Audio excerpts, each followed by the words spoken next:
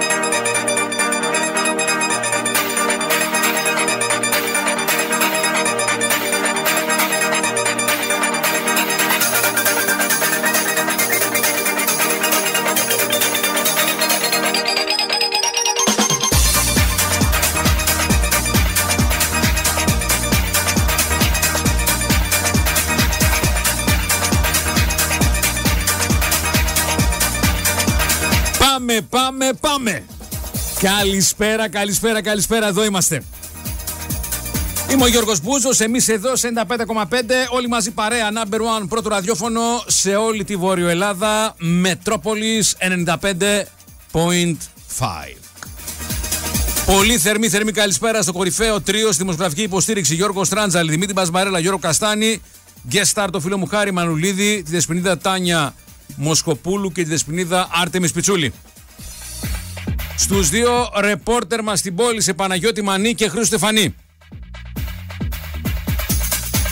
Τους δύο αρχισυντάκτες μας, τον Μάνο Χατζάκη στο manius.gr, τον Γιώργο Πετρίδη στο metrosport.gr. Τους δύο ρεπόρτερ μας στην πόλη σε Παναγιώτη Μανή και Χρήστο Στεφανή. Στον φίλο μου Εμίλιο Γαβριλίδη, παρέα μας εδώ στο κοντρόλ, τεράστιος. Εδώ το μέγεθος φαίνεται μικρό σε σύγκριση με το Ελευθέρη Κατσπαντελίδη. Καλησπέρα Ελευθέρη. Καλησπέρα στην κυρία Λαγκουλιώνη στη γραμματεία. Μαζί είμαστε ομάδα, μαζί πάντα νικάμε. Πολύ θερμή καλησπέρα την αγάπη μου και στον ακροατή μας στη μακρινή Κίνα, στον Πάπη το Λογδανίδη, ο οποίος καθυλωμένος εκεί non-stop Μετρόπολης. Κίνα.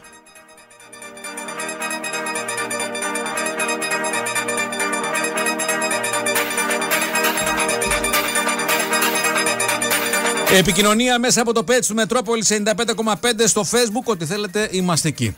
Δεύτερο ψηφιακό ραντεβού Instagram Stories Μετρόπολης 955. Γκάλοπ. Εθνική ομάδα. Περνάμε σήμερα το Καζακστάν. Ναι ή όχι; Αυτό είναι το ερώτημα. Αν η εθνική ομάδα μπορεί να γονατίσει το Καζακστάν να περάσει, να πάρει κεφάλι και να πάει την Τρίτη να αντιμετωπίσει Γεωργία ή Λουξεμβούργο με επικρατέστερη τη Γεωργία στο τελευταίο εμπόδιο πριν το Euro της Γερμανίας. Αυτό είναι το καλό για σας. Ευκολάκι θα έλεγα αν πιστεύετε ότι η Εθνική μπορεί σήμερα να γονατίσει το Καζακστάν. Όλοι στο πλευρό της εθνικής ομάδας σήμερα. Μεγάλη υπόθεση και μεγάλο challenge πρόκληση η πρόκριση στο Euro της Γερμανίας. Έχουν φύγει ήδη 25.000 εισιτήρια, έχουν γίνει καπνός. Πληροφορίες από την Αθήνα λένε ότι έχει προδιαγραφεί ήδη το sold out σήμερα το βράδυ στην Αγία Σοφιά. Δεν θα πέφτει καρφίτσα και πηγαίνουμε για ένα πραγματικό sold out. Γιατί μέχρι ε, στα προηγούμενα παιχνίδια είχαμε ένα εικονικό sold out. Η θύρα των σκληροπυρηνικών της ΑΕΚ έμενε κλειστή για τους φίλους της εθνικής ομάδας.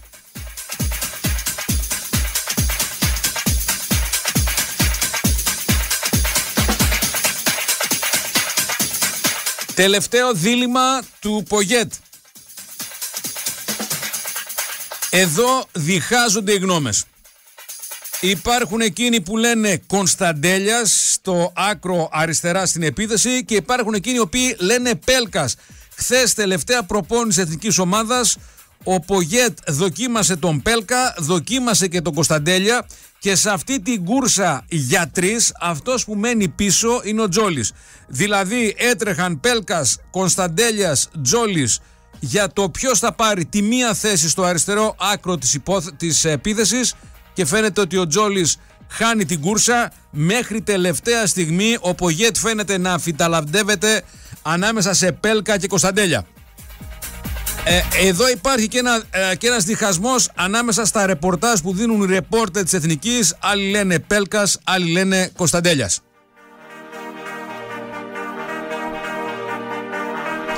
Και ένα ακόμα δίλημα για τον ε, Πογέτ, Σιώπης ή Κουρμπέλης στη μεσαία γραμμή. Το πριμ τακτοποιήθηκε περίπου 5 εκατομμύρια ευρώ θα μοιραστούν οι διεθνείς αν τελικά καταφέρουν να πανηγυρίσουμε όλοι μαζί την πρόκριση της Εθνικής στο γύρο της Γερμανίας. Σας θυμίζω μέχρι πρότινος ο α, Μπαλτάκος έδινε 3 εκατομμύρια, του είπαν δώσε μας 5, πήγε στα 4,5 και κάπου εκεί βρέθηκε η χρυσή τομή, επίσημη έγκαιρη απόφαση της Ομοσπονδίας τα μισά από αυτά που θα πάρει η ΕΠΟ θα δοθούν στους διεθνείς. Θα σας δώσουμε ρεπορτάζ σε λίγο για την ε, εθνική μας ομάδα 10 παρατέταρτο για σας live ροή εδώ στο Μετρόπολης 95,5 για αυτό το πρώτο μεγάλο βήμα της εθνικής στα γήπεδα της Γερμανίας. Θα πάμε λίγο αργότερα και στο van, στο road trip number 2 του Μετρόπολης με Νίκο Κουλιανό και Γρηγόρη ε, Κόκκινο και τους ακροατές. Είναι καθοδόν για την Αθήνα. Το βράδυ θα μοιραστούν όλοι μαζί αυτή την μοναδική εμπειρία να δουν το παιχνίδι της Εθνικής. Νομίζω θα είναι κάτι πάρα πολύ καλό. Λίγο αργότερα θα έχουμε και Νίκο Κουλιανό και Γρηγόρη Κόκκινο.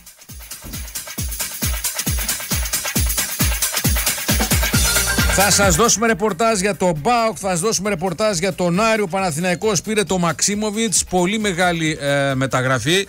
Και εδώ μαθαίνω ότι υπήρχε ένα δίλημα στον Λουτσέσκου. Του είπαν θέλεις Μεϊτέ ή θέλεις Μαξίμοβιτς και ο Λουτσέσκου διάλεξε τον ε, Μεϊτέ. Δεν θέλω να αφήσω τον συνάδελφό μου και καλό φίλο τον Δημήτρη Μαλισιώβα να περιμένει στη γραμμή γιατί πρέπει να πάρουμε πρώτα το ρεπορτάζ Εθνικής και να συνεχίσουμε. Δημήτρη μου τι κάνεις, καλησπέρα. Καλησπέρα, καλησπέρα. Πώς είσαι; Σήμερα η μέρα της Ελλάδος, όχι η μέρα του Μαξίμοβιτς. Όχι, της Ελλάδος, 100%. Μέρα... γιατί, να, για, γιατί να ανακοινωθεί μια κλεισμένη μεταγραφή σήμερα. Αφού είναι κλεισμένη. Δεν υπήρχαν άλλες μέρες.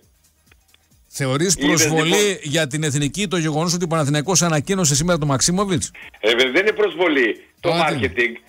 Η μέρα της Ελλάδος της εθνικής θα ανακοινώσει ένα κλεισμένο παίκτη. Α τον αύριο. Άρα λες ότι είναι αυτοκτονία του μάρκετινγκ του Παναθηναϊκού. Ε, μα, συγγνώμη, δηλαδή αγαπάμε την εθνική ή τις ομάδες. Κάτσε ρε φίλε μισό λεπτό για να το ξεκαθαρίσω. Ή είναι προσβολή της εθνικής γιατί τη μέρα που παίζει να κοινώνεις μια μεταγραφή. Δεν υπάρχει προσβολή. Περίμενε, περίμενε.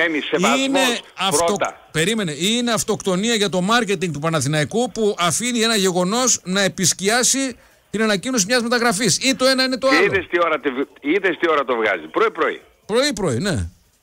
Γιατί τη μέρα της Εθνικής θα πούμε ότι πήραμε ωραία. Είναι ναι. γνωστό ότι έχει αποκτήσει ο Παναγιώτης τον πολύ καλό Σέρβο ποδοσφαιριστή, mm-hmm. επειδή γνωρίζουμε και σερβικά. Mm-hmm. Σήμερα όμως... Α, Πες κάτι στα σέρβικα ρε φίλε να σε, να σε ακούσω. Στα Μόζε Τσεπίτη.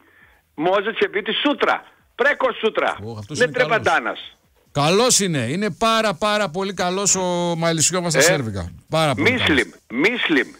Τι συνα... Μίσλιμ. Μ, Τι συναϊμπόλη. Να εμπόληση. Μπρα- Λοιπόν, ε, τα κότζε. Λοιπόν, Λοιπόν. νομίζω λοιπόν ότι η μέρα της Ελλάδος ε, είναι μετά η σύλλογη. άρα Εδώ στην κίτρινη Ελλάδα κάρτα είναι- στον Παναθηναϊκό που λες που ανακοίνωσε σήμερα το Μαξίμοβιτς. Ξεκινάει ο Μαλισιόβας με γκολ από τα ποδητήρια.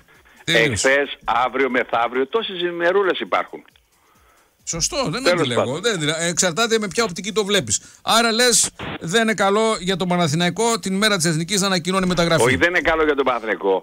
Νομίζω ότι είναι λάθος το timing της μέρας. Τόσες μέρες υπάρχουν για ένα παίκτη κλεισμένο. Ναι. Το κλείνουμε το κομμάτι, ο Παναθηναϊκός Όχι, ξέρει όχι, καλύτερα όχι. γιατί Θα- το έκανε γιατί είναι σήμερα. λάθος. Γιατί είναι λάθος. Πρέπει να το εξηγήσεις τώρα. Γιατί λες κάτι που να εξηγήσεις γιατί είναι λάθος. Σε ποια άλλη χώρα που περιμένει 10 χρόνια να πάει να γίνει στο Euro η σύλλο- ο σύλλογος θα κάνει τέτοια μεγάλη ανακοίνωση. Ναι. Εγώ Ποιος σε είναι ο πάω λόγος; ανάποδα. Γιατί να μην κάνει; Γιατί να μην κάνει, Ναι. ναι. το κάνει αύριο. Αφού είναι η μέρα. Ε, δεν γιατί να το ασχοληθούμε με την κάνει Ελλάδα αύριο αφού σήμερα. μπορεί να το κάνει σήμερα; Ε, Εντάξει, ναι, ασχοληθούμε δεν- με δεν τον το Παναθηναϊκό, δικαιολογείς. την ΑΕΚ. Γι' αυτό η Ελλάδα λοιπόν δεν είναι το πρωτομέλημά της η εθνική και είναι η σύλλογη.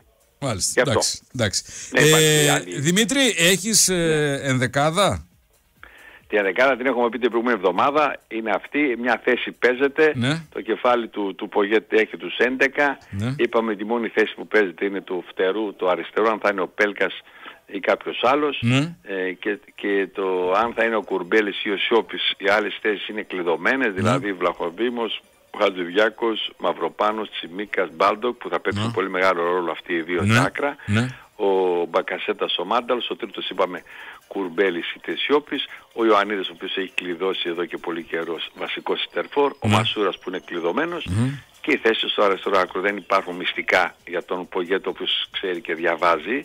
Το θέμα είναι πώς θα κουμπώσει αυτό το σχήμα στο 3-5-2 που παίζουν οι Κάτσε. Καζάκοι. α, Περίμενε, περίμενε. Άσου αυτούς. Άρα λες Πέλκα αριστερά ή Κωνσταντέλια ή Τζόλι; Κοιτάξτε, όχι Τζόλης με τίποτα. Τζόλι με τίποτα. Τελείωσε. Τελευταίος έρχεται στην κούρσα.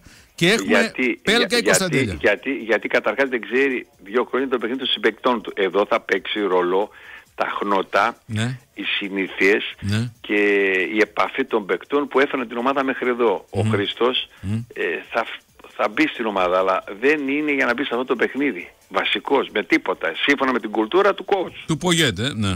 Ναι, αλλά αυτός Γιατί- σκοράρει στη Γερμανία ε, καταρρυπάς. Βάζει το ένα γκολ μετά το άλλο. Άρα είναι on fire. Ναι, αλλά εδώ δεν είναι τον του θέλεις. Ορντάι. Ο τελικός σήμερα θα είναι από τους μαχητές που έφεραν την Ελλάδα ε, ένα βήμα, δύο βήματα πριν τα τελικά. Ε, Γι' αυτό τον κάλεσε γιατί είναι πολυβόλο. Αλλά νομίζω ότι θέλει το χρόνο του. Δεύτερον, ο Πέλκας, αν ο Πέλκας δεν αποσύζει 35 μέρες 40 με Ναι. την Πασάκ, Ναι. θα ήταν de facto. Ναι. Θα ήταν de facto. De facto ο Κωνσταντέλης Πέλκας. Μπορεί- Ναι. ναι, μπορεί να παίξει αριστερά ο Κωνσταντέλιος, αλλά και αυτός δεν έχει παιχνίδια επαφής με την ομάδα. Δεν έχει αγώνες με την Εθνική Ελλάδος. Το μάτς αυτό καίει. Ε, και είναι αμαρτία να πούμε τον Τζόλι ή τον Κωνσταντέλια βγάλε τώρα εσύ το φίδα από την τρύπα. Πρέπει να το βγάλουν οι παλιές σειρές. Ναι. Μάλιστα. δεν είναι; Ωραία, εντάξει. Άρα αφήνεις αυτό Πέλκας Κωνσταντέλια στο το δίλημα εκεί. Θα έχουμε sold out σήμερα; Δυστυχώς η ΕΠΟ δεν έχει ανακοινώσει και εμείς δεν έχουμε sold out και αυτό είναι ένα θέμα που σου προανέφερα όπως και οι σύλλογοι. Αν έπαιζε ο Παναθηναϊκός, η ΑΕΚ, ο ΠΑΟΚ, ο Παναθηναϊκός, το τελικό του conference θα υπήρχε εισιτήριο; Τίποτα. Ούτε για δείγμα. Κουίζ, πόσες προσκλήσεις πήρε ο πρόεδρος; Πόσες; Πήρε πα- πάνω από χίλιες ή κάτω από χίλιες; Ο Μπαλτάκους πήρε χίλιες προσκλήσεις; Ε, το ρεπορτάζ μου λέει κάτω από χίλιες, τις άλλες πρέπει να τις πήρε ο CEO. Έλα ρε φίλε. Είναι η μάχη της πρόσκλησης. Γιατί; Δεν ξέρουμε αν ο Παλτάκος θα ξανά είναι ε, πρόεδρος. Ε, δεν μπορεί μετά να τις είναι. Το 3 πιάνει Ιουνίου. το, το όριο ηλικίας. Το πιάνει. Δεν μπορεί να είναι. Ε, Όχι, δεν θέλει. Ε, Δημοσίως έχει πει, ο άνθρωπος δεν θέλει να συνεχίσει, μπράβο του. δηλαδή, Είναι μισό gentleman. λεπτό. Εσύ μου λες τώρα δηλαδή ότι περίπου πώς ήταν όλες οι προσκλήσεις; Κάτσε μαζί και παρασκήνιο. 3.000, 4. Τρει-τέσσερι χιλιάδες οι προσκλήσεις; Ε, βέβαια, πάντα. Πάντα. Και στο τελικό του κυπέλου. Και από αυτές πήρε ο τα πρόεδρος 12.000 χίλιες δημόσιες σχέσεις, public relations του Προέδρου. Καλά, Δημητρή. Ε, ναι, σαν πρόεδρος δεν πρέπει να πάρει. Ε, πόσες χίλιες προσκλήσεις να πάρει σαν πρόεδρος; Ε, Άμα βέβαια, ήταν το τι σου Μαρακανά και παίζανε χίλια. πω, Κοίταξε, πω, πω. Μου λένε 800. Ο προηγούμενος πρόεδρος, ο προηγούμενος πρόεδρος το 2017, ένα πρόσωπο το οποίο ήταν ευρέως γνωστό από την νομική του επιστήμη, Ναι. ξέρεις τι είπε σε έναν ε, άνθρωπο του ποδοσφαίρου; Τέτοια δημοσιότητα ούτε ως πρωθυπουργός δεν ένιωσα καθήμενος στο θόκο του πρόεδρου της ΕΠΟ. Ε, ναι. Αυτό έχεις δίκιο σε αυτό που λες. Σε αυτό που λες έχεις δίκιο. Λοιπόν, άρα sold out το αφήνεις ανοιχτό. Μα, ε, Ναι. Με το πριν είμαστε Α, εντάξει. Πες, τι άλλος. Η έχεις; είδηση είναι ότι πρώτη φορά η ΑΕΚ ε- έδωσε το OK και στη θύρα 21 με τα σπασμένα καθίσματα εδώ και 1,5 χρόνο Ναι. θα ε- είναι ανοιχτά για τους θεατές. Δεν θα έχουμε την- το κενό εκείνο που είχαμε που ήταν και λίγο άκομψο όταν το έβλεπες οπτικά από την τηλεόραση. Η θύρα 21 εκεί που είναι original θα έχει εισιτήρια. Λοιπόν, ε, Και να πούμε- ωραία. Έχεις Και κάτι να πούμε άλλο; οι Καζάκοι, οι Καζάκοι επειδή έχουν Ραμαζάνι Ναι. ε, θα δούμε πώς θα τα καταφέρουν γιατί κανονικά μετά την προπόνηση πρέπει να πεις νερό και να φας έτσι. Μάλιστα. Λοιπόν, Δημητρό, ευχαριστώ πάρα πολύ, φίλε. Ευχαριστώ πάρα πολύ για το ρεπορτάζ σου. Εύχομαι καλή δουλειά σήμερα και με την νίκη. Λοιπόν, ξεκινήσαμε με τον συνάδελφο μου, τον Δημήτρη τον Μαλισιόβα. Ακούσατε για την εθνική ομάδα αυτό που σας έλεγα. Α, κρατήστε το δίλημα εδώ μπροστά Πέλκας ή Κωνσταντέλιας. Τζόλη φαίνεται ότι έρχεται τρίτος. Επίσης, κρατήστε ότι ε, πάμε για sold out, το οποίο όμως δεν έχει ανακοινωθεί μέχρι στιγμής. Τα λεφτά στο πριμ είναι αυτό που σας είπα και αυτό που δεν έχουμε βάλει στο τραπέζι είναι οι προσκλήσεις της εθνικής ομάδας 4.000. Μας είπε ο Μαλισιόβας, ο Γιώργος Μάτζιος με ενημερώνει ότι οι προσκλήσεις ήταν δυο, είναι 2.500 σήμερα. 2.500 προσκλήσεις. Εντυπωσιακό το νούμερο. Και μου γράφει ο Γιώργος 800 προσκλήσεις πήρε ο πρόεδρος και 500 προσκλήσεις πήρε ο CEO. Αυτές είναι δημόσιες σχέσεις. Όταν έχω εγώ 800 προσκλήσεις, ξέρετε τι γίνεται. Μετά όταν περάσει αυτή η θητεία μου και δεν είμαι εκεί για να μοιράζω προσκλήσεις, πέφτω σε βαθιά κατάθλιψη γιατί δεν χτυπάει το τηλέφωνο. Προχωράμε. Πάμε γρήγορα μια βόλτα στο van στο road trip number 2. Νίκος Κουλιανός είναι ο ηγέτης εκεί με Γρηγόρη Κόκκινο και τους ε, ακροατές του Μετρόπολης είναι καθοδόν για Αθήνα. Βουνό! Βουνό μου, Πού καλό είσαι, πρωινό βουνό; από, από τη Λαμία, έτσι που μόλις περνάμε απ' Φτάσατε έξω. ρε Σήμερα θα θηρίο, περάσουμε- Λαμία, φτάσατε Λαμία, μπράβο. Ναι. Μπράβο. Σε λίγο θα περάσουμε και από τη Θήβα στον τα χαιρετίσματα στον... ε, Που θα, Έτσι. που θα Ε, δώσει θα κάνουμε σε κάποια κασελάκι. συνέντευξη. Σε κασελάκι. Κανονικά πρέπει ε, να ο- κάνετε Ο, Γρηγόρης, ο, ο ναι. κόκκινος. Θα σταματήσει να πάει να κάνει και κάνα επισκεπτήριο στο Στέφανο. Σωστά, ναι, θέλει συνέντευξη Κασελάκη, λέει να γίνουμε viral. Λοιπόν, είμαστε καθοδόν για Αθήνα. Ναι. Ε, σε πολύ λίγο θα φτάσουμε και στο Γουδί, να πάρουμε τις διαπιστεύσεις μας. Είναι η μέρα Εθνικής Ελλάδος. Sold out ανακοίνωσαν α, πριν από λίγο κάτω. Θα Α- δούμε τη Φιλαδέλφια ναι, να αφορά τα καλά της. Α, και περιμένουμε πλέον το πλάνο και το σχέδιο του Πογέτα απέναντι σε μια ομάδα που ε, δεν είναι αμεληταία ποσότητα, αλλά σίγουρα είναι ομάδα που ε, την έχουμε. Έτσι είναι του, του χεριού μας. Ε, όλα αυτά πίσω και ε, ε, κοντά αν θέλεις σε όλο αυτό που είχαμε την εβδομάδα με τα πριν. Έτσι πόσα θα πάρουν, πόσα δεν θα πάρουν. Πες μου κάτι, Τα βρήκανε πριν πάμε τελικά. σε αυτό. Πριν Ναι. πάμε σε αυτό. Πώς είστε, Ναι. εσείς πες μου εκεί με το, με το βαν, πώς Λοιπόν, είστε; το παρεάκι- Ναι, το ναι, το παρεάκι παρεάκι, πώς είστε; καταρχάς Δώσε έχουμε- μας λίγο το παρέστικη παρεάκι, το διάθεση. Λοιπόν, ο, ο Διγάρα δεν το συζητάμε. Ο Θανάσης, ο οποίος ήταν και στη Φραγκφούρτη, είναι εγγύηση, δεν το συζητάμε. Σταθερή αξία. Α, Γρηγόρης Κόκκινος είναι εδώ με κάτι πίτες. Μας έφτιαξε τη διάθεση και είναι μέσα στην ε, τρελή χαρά γιατί αγαπάει Εθνική Ελλάδα. Θα τον βγάλουμε Ε, αργότερα. εδώ- Το, τον Γρηγόρη τον έχουμε αργότερα. Μία σύνδεση με Νίκο Κουλιανό Σε και λίγο, ναι. αργότερα, αργότερα μετά τη μία με Γρηγόρη Κόκκινο να δούμε το τρίπο πηγαίνει. Άρα έχουμε καλή Σωστά. παρέστικη διάθεση. Και μάλιστα ο ένας ε, σε ξέρει γιατί είναι ωραίο καστρό και μου Οχ, λέει οχ, έρχεται οχ, εδώ παίρνει οχ, ψάρια. οχ, οχ, οχ, Τα οχ. καλύτερα. Οχ, οχ, Ψάρια οχ. λέει ωραία ποιοτικά. Όχ, ψάρια. όχ, όχ, όχ, όχ, όχ. Ναι. Κρύβε λόγια. Έχουμε ωραίο παρεάκι Κρύβε εδώ. λόγια. Μπράβο, Ναι, ναι, μπράβο, κρύβο, δεν λέω μπράβο. τίποτα άλλο. Αυτό Μπράβο, μόνο αυτό. μπράβο, μπράβο, μπράβο, μπράβο, μπράβο. Είστε μια Εντάξει, Τα χαρά. παιδιά είναι ακροατόπουλα, είναι φίλοι μας. Πες έτσι μου είναι κάτι, τα- έχετε γνωρίζουμε καμιά χρόνια. σημαία μαζί σας, πήρατε κάνα κασκόλ γαλανόλευκο, πήρατε κάνα έμβλημα, πήρατε, δηλαδή είστε στολισμένοι λίγο να Κοίταξε, ε, πάτε εγώ εκεί. Και αυτή τη στιγμή που μιλάμε φοράω τη φανέλα της Εθνικής Ελλάδος. Μπράβο, Έτσι. μπράβο Νικόλα. Και μπράβο. ο, ο- εδώ τα παιδιά, ο Παναγιώτης ε, νομίζω φανέλα εθνική. Λα- Έχουμε, έχουμε, θα, έχουμε το γαλανόλευκο στοιχείο μαζί μας. Εντάξει, είμαστε κομπλέ. Μπράβο. Για τη Φιλαδέλφια η οποία το ξαναλέμε σήμερα θα, είναι, θα πάρουμε και κασκόλα από κάτω λένε τα παιδιά. Ναι. Σίγουρα θα υπάρχουν αυτά τα αναμνηστικά. Ε, που θα είναι σήμερα η Φιλαδέλφια με 30.000 Έλληνες με γαλανόλευκα έτσι. Θα το γουστάρουμε. Θα Ναι. το... και 300 καζάκους λέει ο Γρηγόρης. Έτσι, από πίσω. Μ' αρέσει Σωστά, που έχετε, θα είναι και είστε σε 300 πολύ καλό mood και έχει πετύχει πάρα πολύ αυτή η πρωτοβουλία από το τμήμα marketing εδώ του ομίλου γιατί είναι το road trip number 2. Είχε προηγηθεί το ένα και θα πάμε και για άλλα από εδώ και πέρα. Εάν όλα ευοδοθούν, νομίζω θα έχουμε άμεσα και τρίτο, αλλά ας μην προτρέχουμε. Ναι. Αλλά το ξαναλέω, είναι πάρα πολύ καλό αυτό το connection, αυτή η, αυτή η σχέση η οποία είναι πολύ αναπτυγμένη. Εμείς δεν τη γνωρίζουμε. Τη γνωρίζουν όμως οι ακροατές οι οποίοι ξέρουν τα πάντα για μας. Ναι, Έτσι. αυτό είναι αλήθεια. καθημερινά μαζί μας. α, Ξέρουν οι ιδιοτροπίες μας, οι ιδιομορφίες μας, τα θέλω μας, τα πιστεύω μας. Για όλα έχω και τον Γρηγόρη εδώ και ξέρω τα πάντα για μας. Έτσι είναι φοβερός. Και άρα είναι πολύ εύκολο να κάνουμε παρέα. Έτσι πάρα πολύ εύκολο. Ελάτε. Λοιπόν, Νικόλα, Εγώ εδώ- ε, πες τον κόκκινο θα τον πάρουμε αργότερα μετά τη μία να είναι, λίγο θα σε να πάρω είναι και σε σε καλή ένα Ναι. κατάσταση, να κάνει καμιά προθέρμανση. Οπότε εγώ θα πάω σε διαφημίσεις. Καλό δρόμο σας εύχομαι. Ωραία. Θα τα Φιλιά, ξαναπούμε. φιλιά, Γεια καλή σου συνέχεια. βουνό μου. Πολλά φιλιά σε Γεια όλους. χαρά, γεια Χαιρετισμούς. χαρά, βουνό μου, γεια χαρά. Πάμε διαφημίσεις. Μην φύγετε, επιστρέφουμε. Λοιπόν, εδώ είμαστε.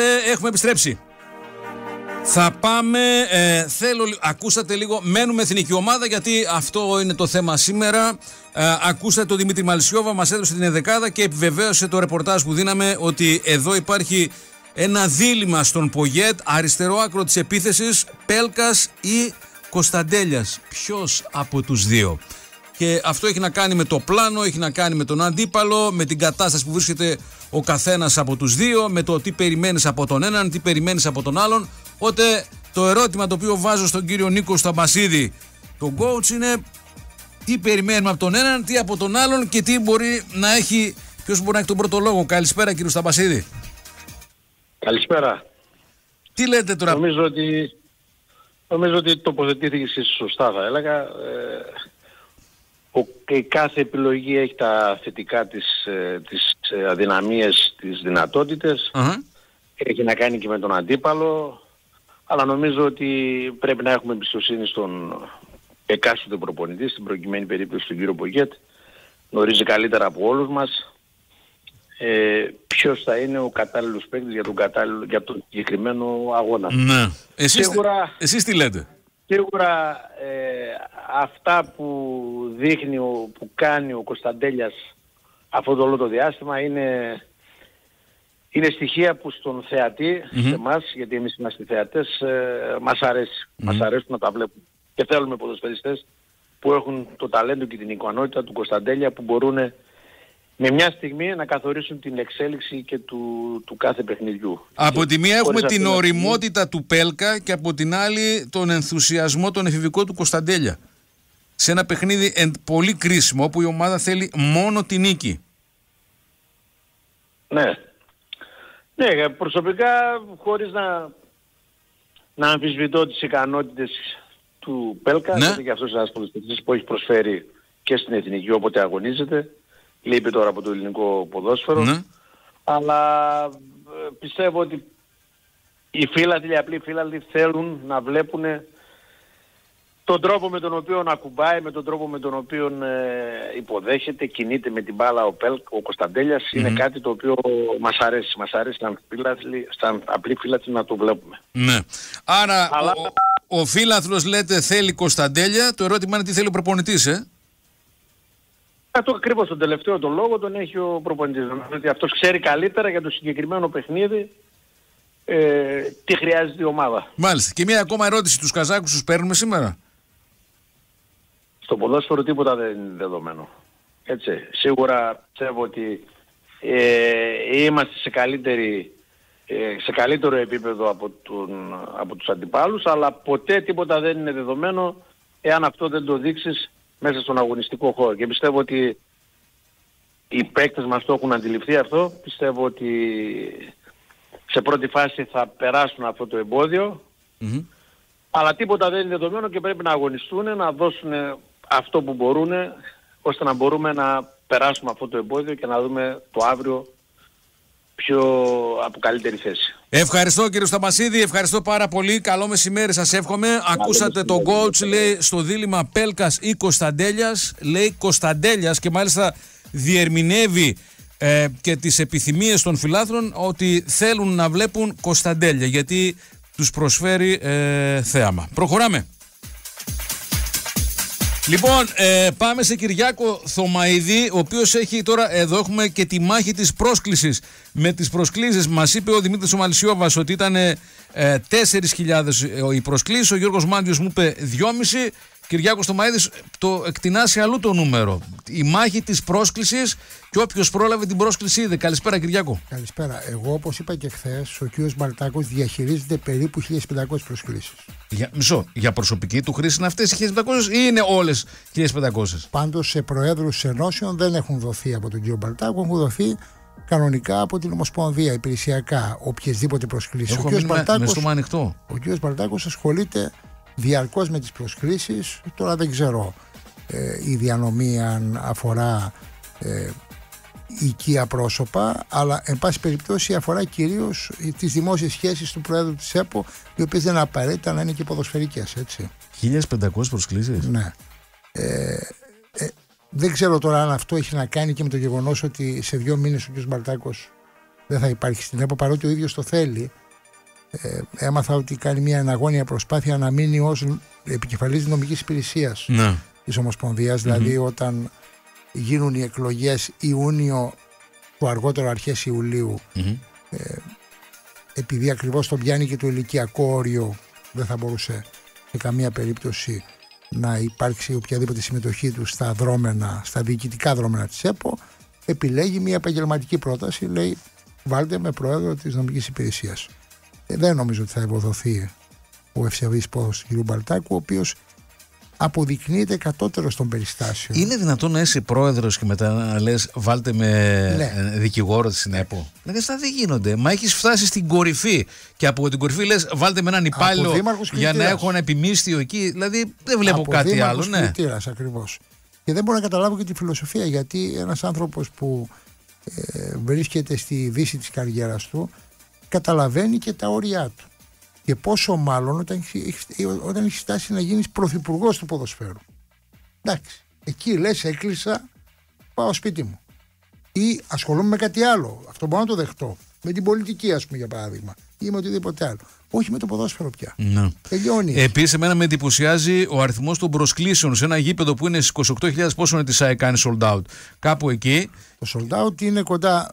Μπορεί να. Κοίταξε, επειδή δώσαν όλες τις θύρες, μπορούμε να πάμε και στις 30. Ναι, είναι δυνατόν, εγώ σου λέω στις 30. Είναι δυνατόν στις 30 το 1 έκτο περίπου να είναι τον 7ο. Να είναι προσκλήσεις. Ναι, Αυτό δεν έτσι. σημαίνει. Αυτό σημαίνει ότι δεν γεμίζω το γήπεδο, μοιράστε προσκλήσεις. Είναι δυνατόν να μοιράζω 4.000 προσκλήσεις. Ναι. 4.000. Αυτό δεν είναι δημόσια σχέση, αυτό είναι. Ε, περάστε κόσμο. Καλά, μην νομίζεις. Πάντα έτσι γίνονταν στην ΕΠΟ. Απλώς το πρωτοφανές στην περίπτωσή μας Ναι. είναι ότι ο πρόεδρος για πρώτη φορά μοιράζει τόσο μεγάλο αριθμό προσκλήσεων και μάλιστα σε πρόσωπα τα οποία είναι εξωποδοσφαιρικά.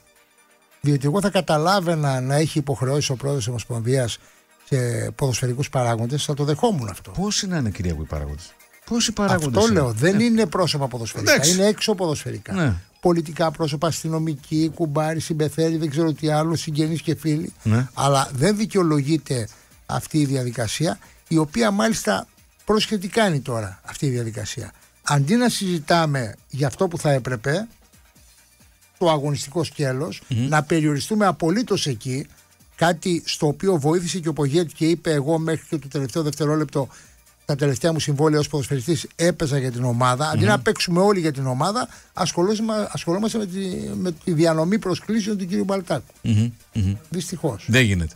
Λοιπόν, με Κυριάκο Θωμαίδη, λίγο αργότερα και πάλι μαζί, αυτά και με τις προσκλήσεις. Όλα αυτά συνθέτουν ε, όλο αυτό το περιβάλλον, πώς πάμε στη σημερινή κόντρα με το Καζακστάν. Πάμε να δώσω μια καλησπέρα σε Γιώτη Τσαλουχίδη που είναι στην ε, γραμμή. Γιώτη μου, τι κάνεις, πώς είσαι; Καλησπέρα, βρίσκομαι στη Βέρεια σε Συ- μια ίστατη προσπάθεια μήπως και καταφέρουμε και κάνουμε ένα θαύμα ακόμα στην ομάδα της Βέρειας. Τι είδους θαύμα; Να παραμείνεις στην κατηγορία. Αυτό Νομίζω ότι βαφτίζει είναι, θαύμα. Να. είναι η μοναδική ομάδα που εδώ και χρόνια Μ. είναι η πιο αδικημένη ομάδα από την άνοδο που ήταν για την Super League Ναι. και με όλα αυτά που τα παρατράγουδα που γίνανε, θυμάστε στα παράς Ναι. και φτάσαμε στην περσινή χρονιά που έγινε μια προσπάθεια πάλι για να παραμείνει η ομάδα στη Super League 2, δυστυχώς δεν τα κατάφερε. Έπεσε η κατηγορία και πάλι δίνει έναν αγώνα να παραμείνει στην κατηγορία, μάλιστα στην ε, τρίτη εθνική. Πω. Και μάλιστα μην ξεχνάτε ότι πέρυσι επικυρώθηκε και η βαθμολογία πολύ νωρίτερα, Ναι. Που κάποια ομάδα δεν συμμετείχε μετά όταν ξεκίνησε η χρονιά. Μμμ. Δηλαδή κάθε χρονιά γίνεται και μια δική σε αυτήν την ομάδα και από πότε θυμάμαι και από τα πιο παλιά χρόνια, Ναι. γιατί είμαι από την ομάδα Πατσικό αν φανταστείτε και ασχολούμαι με τη Βέρεια πάντα Ναι. το τι κάνει και Ναι. που βρίσκεται. Είναι η μοναδική ομάδα μαζί με τον Ηρακλή, οι Ναι. οποίες είναι οι πιο αδικημένες ομάδες πάντα Ναι. όλα τα χρόνια αυτά. Ναι. Έχεις δίκιο, ευχόμαστε τα καλύτερα. Πρέπει να βρεθεί εκεί ένας άνθρωπος ο οποίος να την πάει την ομάδα. Ήταν ο Καρυπίδης, μετά πήγε ο Μπίκας, άλλαξαν ο Αρβανιτίδης, άλλαξαν οι, οι άνθρωποι, αλλά θέλει κάτι εκεί, ε, Γιώτη, θέλει κάτι. Ε, και αυτή τη στιγμή είναι και ένα νεαρό παιδί μπορώ να πω, ο Αγάπης Αναστασιάδης, ο οποίος και αυτός βάζει τα χρήματά του για να κάνει κάτι καλό για την ομάδα της Βέρειας, την αγαπάει, προσπαθεί και γι' αυτό και εγώ το λόγο ήρθα παρόλο που είναι πολύ δύσκολα τα πράγματα, ήρθα γιατί και εγώ είμαι Βεριώτης και με ενδιαφέρει η ομάδα και πάντα έδειξα το ενδιαφέρον μου από πολλές θέσεις ποικίλες. Αυτό είναι αλήθεια. Αυτό είναι αλήθεια. Η αγάπη δεν τελειώνει ποτέ Γιώτη, στην τι, ομάδα. τι βλέπεις σήμερα εθνική ομάδα. Ευχηθώ στη Βέρεια να πετύχει το θαύμα που περιγράφεις. Ε, Να σου πω κάτι, πάμε to the point λίγο. Κουβεντιάζουμε για Πέλκα Κωνσταντέλια. Πέλκας Κωνσταντέλιας, το δίλημα του Πογέ. Τι λες εδώ, Ποιος από τους δύο μπορεί να έχει τον πρώτο λόγο; Νομίζω ότι καλύτερο έχουμε να δείξουμε σε ταλέντα αυτή τη στιγμή και ποιότητα, δεν, χωρίς να δικήσω τον Μπέλκα, νομίζω ότι ο Κωνσταντέλης αυτή τη στιγμή είναι ό,τι καλύτερο διαφήμιση για τη χώρα μας την ίδια Μμμ. και είναι ένα παιδί το οποίο έχει ένα λαμπρό μέλλον μπροστά και να είναι δυνατός γερός. Πιστεύω ότι θα φτάσει πολύ ακόμα πιο ψηλά σε επίπεδο γιατί έχει ένα τεράστιο ταλέντο που δεν το βρίσκει σήμερα εύκολα σε πολλές χώρες και ομάδες των άλλων κρατών. Μμμ. Άρα, Θέλει προσοχή ναι. όμως και όχι διασύνη. Είναι όμως ένας παίκτης που εγώ θα το χρησιμοποιούσα από την αλήθεια. άρα εσύ θα ξεκινήσουμε Κωνσταντέλια αν ήσουν. Ναι, θα ξεκινήσω με Κωνσταντέλια γιατί έχει το απρόβλεπτο. Έχει, είναι ένας παίκτης ο οποίος όταν πάρει την μπάλα μπορεί να δημιουργήσει πολλά κενά, Ναι. μπορεί να δώσει πάσα, έχει, έχει τρίπλα και αυτό είναι το σύγχρονο ποδόσφαιρο. Έχει όλα τα στοιχεία. Να σε πάω ανάποδα. Τι έχει ο Πέλκας που δεν έχει ο Κωνσταντέλιας; Ε, αυτό, την, ο Πέλκας είναι ένας παίκτης ο οποίος κάνει πολλή δουλειά κι αυτός. Έχει πολύ καλή τεχνική, συμμετέχει στο παιχνίδι της ομάδος. Το παραπάνω που έχει ο Κωνσταντέλιας είναι αυτό το ένας εναντίον ενός, ότι μπορεί να περάσει οποιοδήποτε αντίπαλο και μπορεί να βγάλει μια πάσα που να μην την περιμένει κάποιος άλλος. Δηλαδή έχει το κάτι παραπάνω, αυτό που διαφέρει. Δηλαδή υπάρχουν οι ηγέτες ποδοσφαιριστές και οι πολύ καλοί ποδοσφαιριστές. Για μένα κάποια στιγμή θα γίνει και ηγέτης ο Κωνσταντέλιας. Όπως σας είπα όμως να γίνει όταν να πάρει τα παιχνίδια που χρειάζεται και έχει πολύ μέλλον μπροστά τους. Προσοχή θέλει και ε, θα φτάσει εκεί που Μ' πρέπει. άρεσε αυτό που είπες. Άρα λες, ε, υπάρχουν οι πολύ καλοί και οι ηγέτες. Ο, ο Κωνσταντέλιας είναι πολύ καλός αυτή τη στιγμή. Μένει να, ε, να οριμάσει για να γίνει ηγέτης.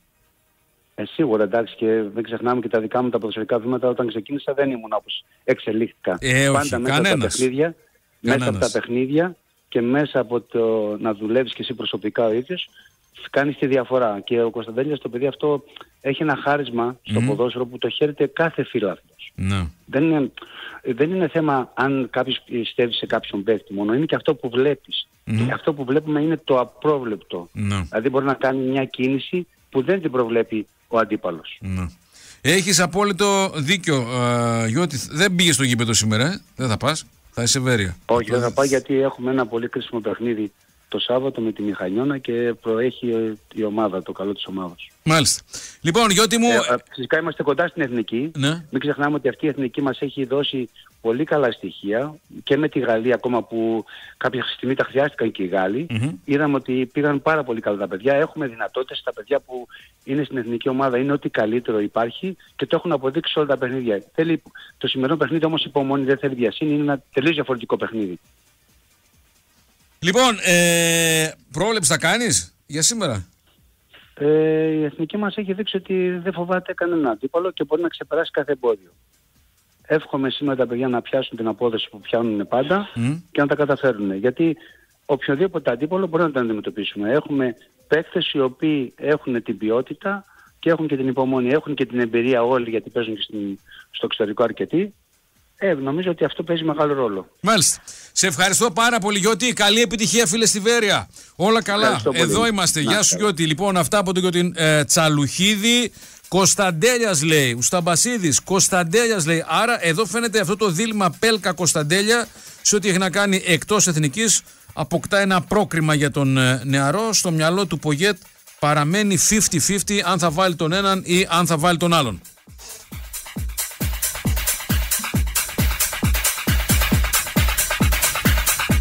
Λοιπόν, ακούσατε και το ρεπορτάζ για την εθνική ομάδα, ακούσατε το ρεπορτάζ για την ε, ενδεκάδα, το ρεπορτάζ για τα ειστήρια πάμε για sold out, το πριμ των 4,5-5 εκατομμύριων ευρώ που θα, πάνε στους, που θα πάει στους διεθνείς και τη μάχη των ε, προσκλήσεων όπου εδώ χιλιάδες προσκλήσεις ε, έχουν εκδοθεί για να κάνει η ΕΠΟ πραγματικά δημόσιες σχέσεις. Στην εθνική ομάδα θα επιστρέψουμε λίγο αργότερα. Τι λέτε, πάμε λίγο προς το βορρά, πάμε Κροατία να συναντήσουμε το φίλο μου το Λευτέρη Σούμποτιτς, τον οποίο τον περιμένουμε στον Καλά εδώ για, 100, για τα 110 χρόνια του, ε, του Άρη. Πίξη, γδέση τίμο η Πρίατελ, τι κάνεις, καλησπέρα. Καλησπέρα, μια χαρά. Εδώ είμαι, στην Κροατία. Τι κάνεις ρε φίλε στην Κροατία, εμείς σε περιμένουμε Θεσσαλονίκη, εσύ είσαι Κροατία. Ε, ακόμα μεθαύριο, μεθαύριο κάτω. Κάτσε λίγο, κάτσε λίγο. Χαίρομαι πάρα πολύ που- Πίξη, πάρε το τηλέφωνο στα χέρια και μίλα κανονικά γιατί έτσι όπως μιλάς δεν σε ακούμε. Τώρα με ακούς; Ε, ναι, τώρα σε ακούω. Τι κάνεις, περπατάς, Λοιπόν. τρέχεις, τι κάνεις; Όχι, τε, πήγα, μόλις γύρισα από το βουνό. Τι, περπάτημα ή τρέξιμο; Όχι, τρέ, ε, ό,τι έτρεξα, έτρεξα στο γήπεδο. Τώρα, δεν, τώρα περπατάμε. Μπράβο, μπράβο. Πόσο περπατάς, Πίξη. Τώρα 2 ώρες και 30 λεπτά. Δύο, δυόμιση ώρες περπατάς; Ναι, τώρα, σήμερα, αλλά όχι κάθε μέρα, εντάξει. Μπράβο, μπράβο, Καμία, Πίξη. μία, ε, ό, αλλά όχι κάτω από μία, μία ώρα και 10 λεπτά, ποτέ. Άρα, μπράβο, είσαι σε πολύ καλή κατάσταση. Μπράβο. Είμαι έτοιμος να παίξω 5 λεπτά. Μπράβο μου, η Πρίατελ, μπράβο. Ε, ε, θα έρθεις; Θα έρθω, ναι. Μπράβο. Πότε θα είσαι εδώ, πότε ξεκινάς; Κυριακή, Κυριακή θα είμαι το μεσημέρι και Μπρα- το βράδυ και θα φύγω τη Τρίτη. Μπράβο, μπράβο, Πίξ. Θα είναι μια καλή ευκαιρία να δεις εδώ τα, τα παιδιά. Ε, φαντάζομαι το περιμένεις πώς και πώς. Α, σίγουρα, γιατί μόλις διάβαζα οι οποίοι θα έρθουν, Ναι. χάρηκα πολύ γιατί έχω να τους δω πολλά χρόνια. Ναι. Είμαστε σε διάφορα μέρη του κόσμου και τώρα είναι πολύ μεγάλη ευκαιρία να βρεθούμε πάλι ξανά και με την ευκαιρία θα κάνω αυτό που έχω αποσχεθεί εδώ και ένα χρόνο. Ναι. Να φέρω τα, τα πέντε μετάλλια, τα πέντε μετάλλια που πήρα, πέντε πρωτοτήματα με τον Άρη ε, ε, από 86 μέχρι 91 ναι. και θα τα δώσω στο μουσείο του Άρη. Που στο μουσείο θα τα δώσεις; Ναι. Μπράβο. Έτσι, έτσι το είχα αποσχεθεί. Μπράβο, λέ. Μπράβο, Πίξη. Μπράβο. Μπράβο, ρε φίλε. Μπράβο. Και να σου κάτι δίνεις ένα κομμάτι της ζωής σου έτσι, γιατί αυτά είναι οι αναμνήσεις σου. Είναι αναμνήσια, αλλά να σου πω κάτι, τόσα χρόνια το, τα έχω στο σπίτι μου Ναι. και το βλέπω εγώ, η οικογένειά μου ή κανένα φίλος δεν, δεν ξέρουν αυτή τι, τι σημαίνει αυτό. Ενώ άμα είναι στον Άρη, όποιος και να έρθει εκεί, θα έχει μεγαλύτερη αξία, να, να ξέρει ο κόσμος. ναι. Και να χαρεί να δει κάτι από κοντά, γιατί αυτά είναι πολύ λίγα, πολύ λίγα άτομα τα έχουν. Μπράβο, μπράβο, Πίξη. Νομίζω είναι πάρα πολύ καλό αυτό που κάνεις. Το είπες, το υποσχέθηκες και θα το κάνεις ε, πράξη. Ε, Ναι. Ο Νίκ δεν θα είναι εδώ. Ο Γκάλης δεν θα είναι. Τι να κάνουμε. Δηλαδή δεν τα είναι. Εγώ, για μένα έχει σημασία να είμαι εγώ. γιατί, Καλό. γιατί έχω, έχω, γιατί έχω, έχω πολλά χρόνια ε, να, να, να παραβρεθώ Ναι. σε κά- κάποιες εκδηλώσεις. Ναι. Βέβαια, θα, είμαι- θα χάρηκα, θα χαιρόμουν πάρα πολύ να ήταν και ο Νίκος και ο Παναγιώτης και οι υπόλοιποι. Ναι. Αλλά όποιος είναι, είναι όποιος θα του δω και να χαρώ πολύ πάνω και να κάνουμε και παρέα. Μπράβο, μπράβο, Πίξη. Ο Σούμποτης, ο οποίος υπήρξε ε, παίκτης, υπήρξε προπονητής, μόνο πρόεδρος δεν έγινες στον Άρη. Που- ο- Αυτό δεν θα γίνει ποτέ. Γιατί, ε, φίλε, μπορεί να σε πούνε μετά από χρόνια που θα Έτσι, σταματήσεις, δεν ας είναι. πούμε, γίνε πρόεδρος. Όχι, όχι. Όχι, δεν είναι. Δεν είναι. ο γενικός διαδετής, ε, general manager, κάτι τέτοιο ναι, αλλά πρόεδρος ποτέ. Όχι. Άρα general manager το αναλαμβάνει ο Πίξ τον Άρη, για πρόεδρος δεν έρχεται. Εντάξει, έλα, έλα general manager, δεν μαλώσουμε τώρα. Έχει, ο Άρης έχει όλες τις αυτές που αναφέραμε, έχει και έχει καλά παιδιά, έχει αριανούς Ναι. και οπότε αυτή τη στιγμή δεν πιστεύω ότι υπάρχει λόγος κάποιος να φύγει για να έρθω εγώ. Μμμ. Πίξη, ε, τι σου έχει λείψει περισσότερο από Θεσσαλονίκη από Άρη; Από Άρη η ατμόσφαιρα του Παλέτε Σπορτ, τα παιχνίδια, Ναι. ε, μου λείπει αβάνταστα η πόλη Θεσσαλονίκη, φίλοι μου, Ναι. ε, με οποίους έχω καθημερινά, σχεδόν καθημερινά επικοινωνία Ναι. και μου λείπει οπωσδήποτε ο, ο παλμός της πόλης, γιατί είναι, η Θεσσαλονίκη είναι μια ιδανική πόλη, δεν ξέρεις να ζει ε, κα, κανεί- κανείς ε, και ζει με ένα, ε, δεν θα έλεγα περίεργο ρυθμό, με ένα δικό του ρυθμό. Έχω περάσει πολλ, πολλά μέρη του κόσμου, Ναι. είχα πάει Αμερική, Middle East, Far East, Ασία και τέτοια, αλλά σαν το παλμό της Θεσσαλονίκης δεν έχω συναντήσει στη ζωή μου. Μπράβο ρε Πίξη, μπράβο. Μπράβο, ξαναπες το, γιατί εσύ είσαι κοσμογυρισμένος, έχεις πάει παντού. Και λες δεν υπάρχει Έχω σαν τη πάει. Θεσσαλονίκη. Δεν υπάρχει, ναι, ό, όντως ό, δεν υπάρχει. Μπράβο Πίξη. Πρόσεχε τώρα, ε, ένας φίλος μου στέλνει από την Κίνα, λέει και, ε, ο Πίξη είχε και μπαράκι 625.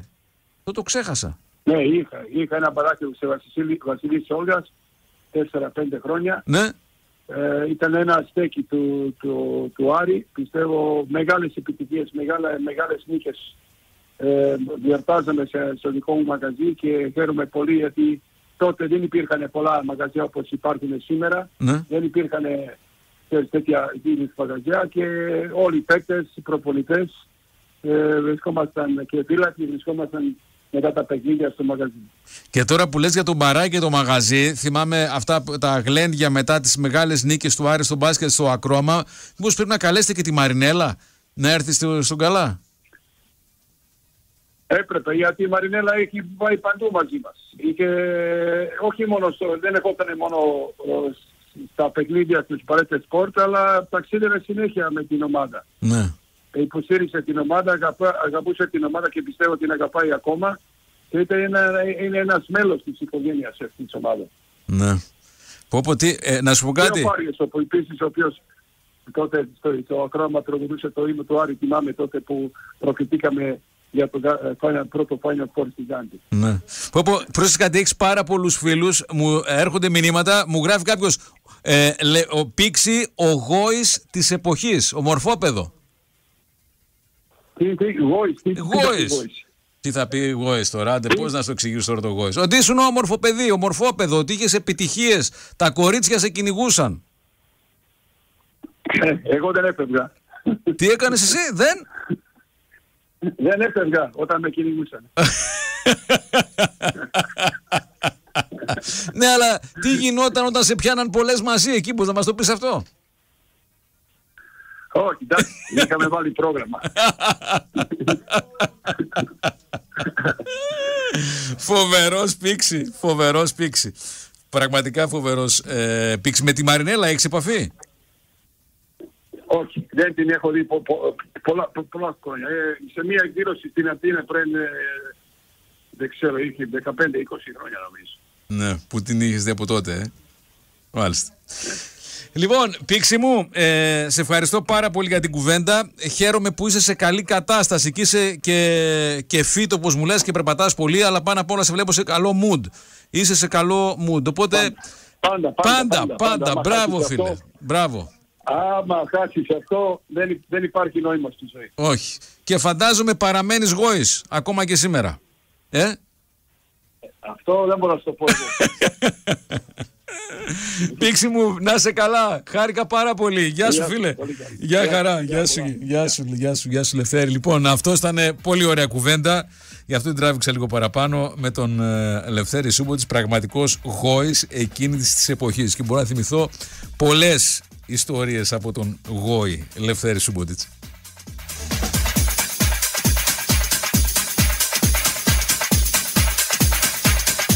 Λοιπόν, πρέπει να πάμε στο διαφημιστικό α, διάλειμμα. Να πάμε στις, ε, στις διαφημίσεις. Χρωστάμε κάτι ακόμα από εθνική ομάδα.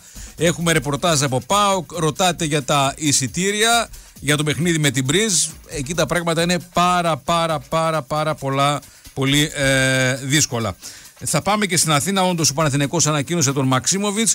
Και εδώ παραλαμβάνω την πληροφορία ότι δόθηκαν στον ε, Λουτσέσκου δύο ονόματα. Μεϊτέ ή Μαξίμοβιτς. Και ο Λουτσέσκου διάλεξε Μεϊτέ. Πάμε διαφημίσεις. Μην φύγετε. Σε λίγο επιστρέφουμε.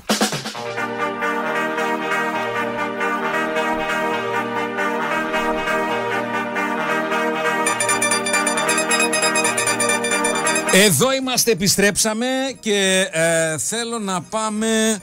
Σε λίγο θα έχουμε Κυριάκο Θωμαίδη, ο οποίος θα μας δώσει ε, ρεπορτάζ για τον ε, τελικό.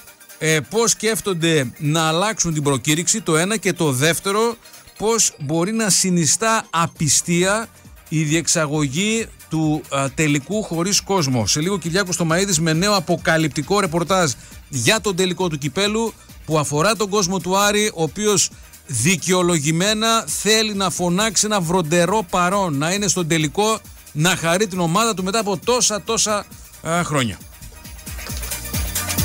Και Γιώργος Καστάνη σε λίγο για τον ε, ΠΑΟΚ. Πρώτα όμως να πάμε να δούμε τι γίνεται στο κέντρο της πόλης γιατί έχουμε θέμα εκεί. Έχουμε πέμπτη σήμερα η καθιερωμένη συγκέντρωση.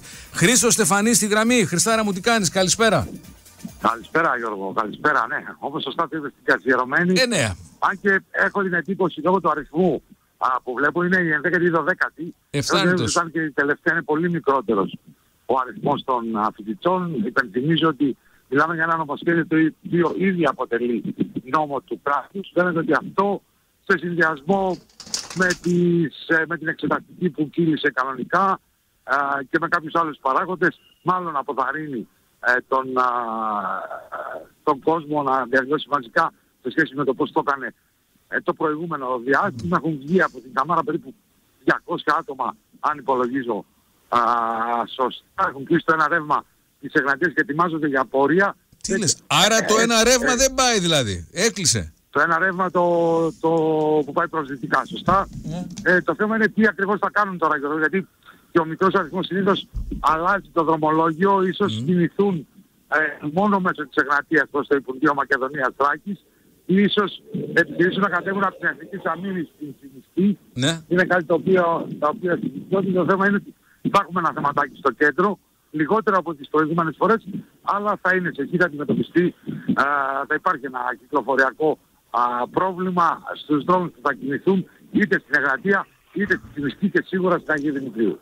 Ευχαριστώ πάρα πολύ Χριστάρα, θα έρθουμε και αργότερα πάλι σε σένα. Ευχαριστώ πάρα πολύ τον Χρήστο Στεφανή. Άρα κρατήστε το, μην πλησιάζετε Εγνατία, αν κατευθύνεστε ε, δυτικά το ρεύμα προς το Βαρδάρι είναι ε, κλειστό και κανείς δεν ξέρει αυτή η συγκέντρωση όσο μικρή και αν είναι των ε, φοιτητών που προκαλεί τα ε, προβλήματα κυκλοφοριακά προς τα που θα κινηθεί άρα που θα έχουμε τις νεότερες ανατροπές. Συνεχίζουμε.